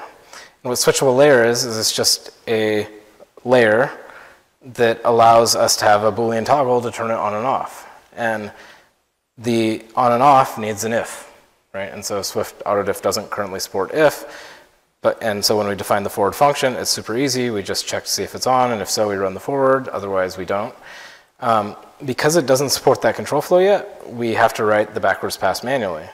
And we can do that using exactly all the stuff that we just showed. We implement the value, and we implement the chainer thing, and uh, we can implement it by returning the right magic set of closures and stuff like that. And so, you know, it sucks that Swift doesn't support this yet, but it's an infinitely hackable system, and so for this or anything else, you can go and customize it to your heart's content. Yeah, and I mean, uh, the, one of the key things here is that um, Chris was talking about kind of the, the, the atoms, and at the moment the atoms is is TensorFlow, mm-hmm. which is way too big an atom. It's a very large atom.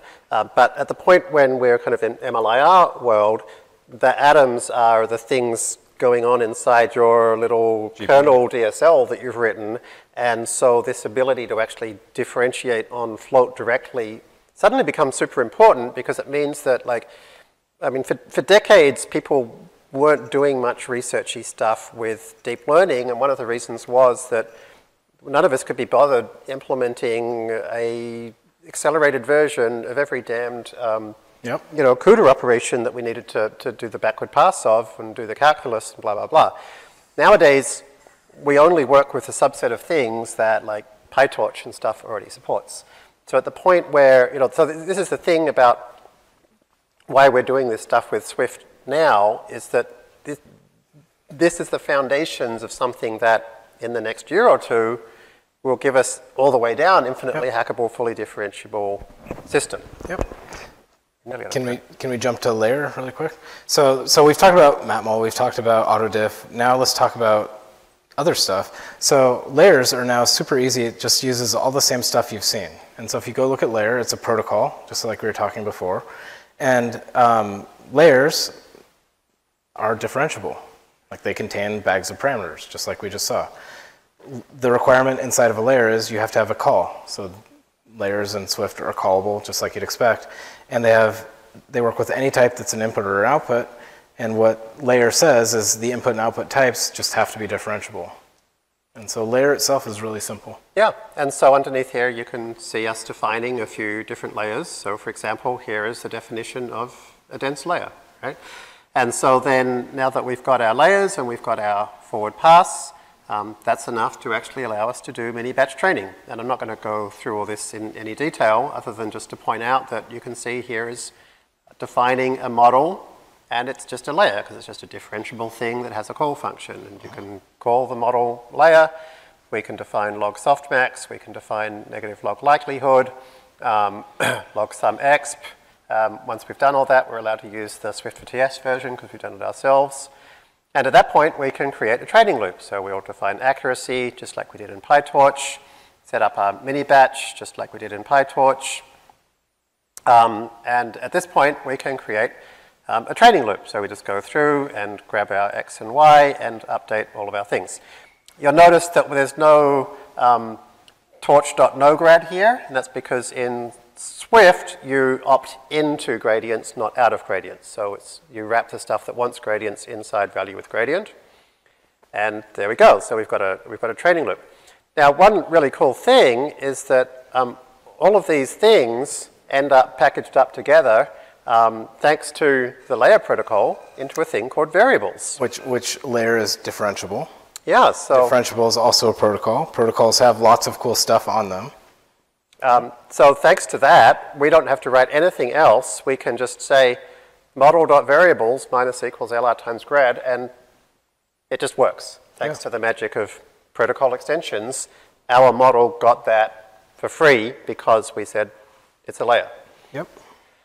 Um, okay, so I think that's uh, about all we wanted to show there.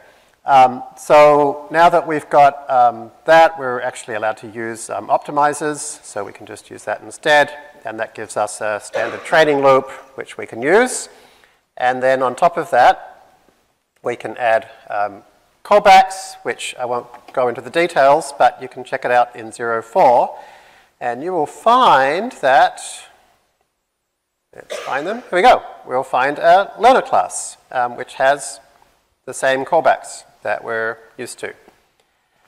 And then, um, eventually, we'll get to the point where we've actually written a stateful optimizer with hyperparameters, again, just like we saw in PyTorch. And most of this will now look very familiar. Um, we won't look at dictionaries now, but they're almost identical to PyTorch dictionaries, and we use them in almost the same way. So you see we've got states and steppers and stats, just like in PyTorch. And so eventually, you'll see we have things like the LAMB optimizer written in Swift, which is pretty great. And it's the same amount of code. And things like um, squared derivatives, we can use our nice little Unicode to make them a bit easier to see.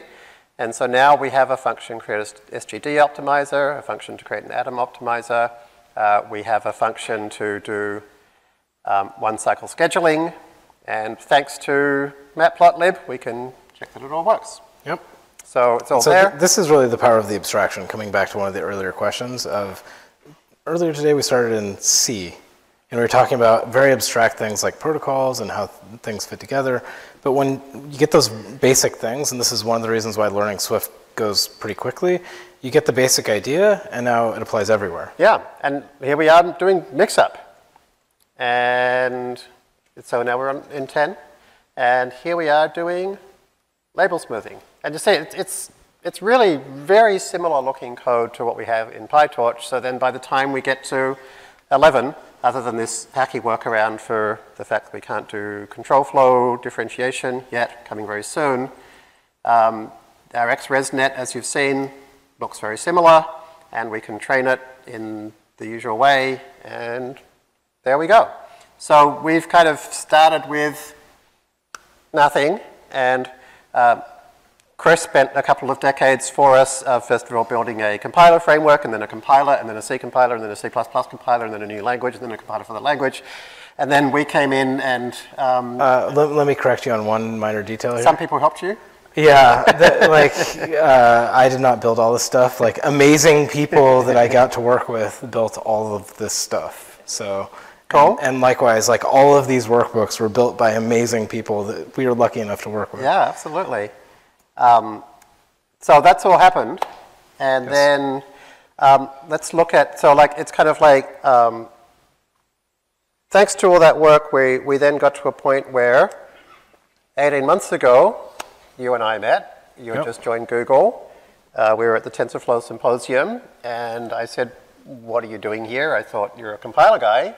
And you said, Oh, well, now I'm going to be a deep learning guy. Well, no, I said, well, deep learning sounds really cool. Yeah.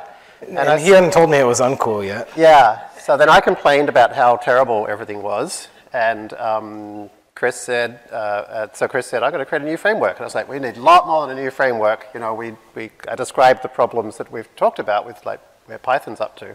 Chris said, well, I might actually be creating a new language for deep learning, which I was very excited about because I'm totally not happy with the current languages we have for deep learning. So then 12 months ago, I guess we started asking this question of like, what if high-level API design actually influenced the creation of a differentiable programming language? What would that, what would that mean? And so to me, one of the dreams is, is when you connect the um, building of a thing with teaching of a thing with using a thing in reality. And one of the beautiful things about Fast AI is pulling together both building the framework, teaching the framework, and doing research with the framework. Yeah.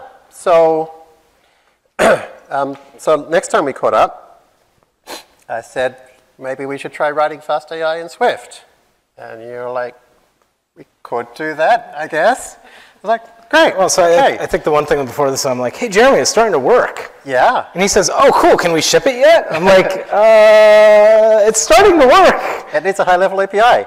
Yes, So let's announce a course where we teach people to use this thing that doesn't exist yet. And, you and I think I said naively, I like deadlines. Deadlines are a good thing. They force progress to happen. So then one month ago, uh, we created a GitHub repo, and we put a notebook in it. And we got at the last TensorFlow Dev Summit, we sat in a room with the Swift for TensorFlow team, and we wrote the first line of the first notebook. And you told your team, hey, we're going to write all of the Python notebooks from scratch in And they basically said, what? what have you got us into? um, so it's And, and I think we've learned a lot. Yeah. So, I mean, to me, the question is still this, which is what if high level API design was able to influence the creation of a differentiable programming language? And I guess we've started answering that question. Yeah, I don't think we're there yet. I mean, I think that what we've learned even over the last month is that there's still a really long way to go. And I think this is the kind of thing that really benefits from different kinds of people and perspectives and a different, different set of challenges. And just, just today and yesterday, working on data blocks, a breakthrough happened where there's an entirely new way to reimagine it as this functional composition that solves a lot of problems. And Yeah. a lot of those kinds of breakthroughs, I think, are still just waiting to happen. I mean, it's been an interesting process for me, Chris, like, because we decided to go back and redo the Python library from scratch. It, and, and, and, and as we did it, we were thinking, like, what would this look like when we get to Swift? And so we, you know, even as we did redid the Python library, we, we created the idea of stateful optimizers. We created the, the new callbacks version 2. Um, so that was interesting. But there's also been interesting, I've seen from, as an outsider from a distance, that Swift syntax seems to be changing thanks to some of this. Yeah, absolutely. So um, there are new features in Swift, including callables. That's a thing that exists because of Swift for TensorFlow. The Python interoperability, believe it or not, we drove that because it's really important for what we're doing. There's a bunch of stuff like that that's already being driven by this project, and I think there's going to be more. And so, like making it so float can default away to nothing. That's really important. We have to do that, and otherwise, it wouldn't have been a priority. So, I mean, um, so it's still really, really early days. Um, and, and I think the question in my mind is now like, what, what will happen when data scientists in lots of different domains have access to an infinitely hackable, differentiable language, along with the world of all of the C libraries. Um, you know, like what, what do we end up with? Because we kind of, we ha- we're starting from very little in terms of ecosystem, Yep. right? But like, there are things in Swift, we haven't covered, for example, something called key paths, but there's this thing called key paths which might let us write like little query language DSLs in Swift with type safety. Yeah, give me, give me all the parameters out of this thing and let me do something interesting to them. Yeah. It's really cool. Um, and so, um, you know, I guess at this point, I'm kind of saying to people is like, pick some piece of this that might be interesting in your domain, and Explore. over the next 12 to 24 months, explore with us, Yes. so that you know, as this, as, as, as Chris said, you know, putting this aeroplane together whilst it's flying, you know, by the time it's actually the, all the pieces are together, you'll have your domain-specific pieces together, and I think it'll be super exciting. And one, one of the things that's also really important about this project is it's not cast in concrete. So we can and we will change it to make it great. And to me, we're very much in the phase of let's focus on making the basic ingredients that everybody puts things together. Like, let's talk about the core of layer is. Let's talk about what data blocks should be. Let's talk about what all these basic things are. Let's not mess with float anymore. let's go up a few levels. Float is done? Yeah, float, let's, we can consider float done. But, but let's actually really focus on getting these right so that then we can build amazing things on top of them. And to me, the thing I'm looking forward to is just innovation. Right? So the and thing- innovation happens when you make things that were previously hard accessible to more people. And that's what I would just love to see. So the thing I keep hearing is, how do I get involved? So like, I, I, I think there's many places you can get involved, but like, uh, to me, the best way to get involved is by trying to start using little bits of this in work that you're doing, or utilities you're building, or hobbies you have. You know, try, just try. Um, you know, it's it's not so much how do I add some new custom derivative thing into Swift or TensorFlow, but it's like, you know, implement some notebook that didn't exist before, or take some Python library that you've liked using and try and create a Swift version. Do, try something, write a blog post. I mean, so one of the things when Swift first came up is that a lot of people were blogging about their experiences and what they learned and what they liked and what they didn't like. And that's an amazing communication channel because the team listens to that. And that's a huge feedback loop because we can see somebody was struggling about it. And even over the last couple of weeks, when Jeremy complains about something, we're like, oh, that is really hard. Maybe we should fix that. And we do change it. And then progress happens, right? Yeah. And so we want, we want that feedback loop and blogs and other kinds of yeah, it's a uh, very receptive forums are community, really very receptive Yeah. team, for sure. Um, were there any uh, highlight questions that you wanted to ask before we uh, wrapped up, Rachel? Not really? Okay. Well, I mean, let me say this, Chris. It's been um, an absolute honor and absolute pleasure to get to work with you and with your team. It's like a dream come true for me, and to see what is being built here. And you're always super humble about your influence, but I mean, you've been such an extraordinary influence in, in how, all the things that you've helped make happen. And uh, I'm, I'm super thrilled for our little community that you've let us piggyback on yours a little bit. Uh, I'm, I'm, thank you so much for this. Oh, and from my perspective, uh, as a tool builder, right? Tool builders exist because of users, and I want to build a beautiful thing. And I think everybody working on the project wants to build something that uh, is really beautiful, really profound, that enables people to do things they've never done before. And I'm Well- really excited to see that. I think we're already seeing that starting to happen. So thank you so much, and thanks everybody for joining us. for having us. See you on the forums.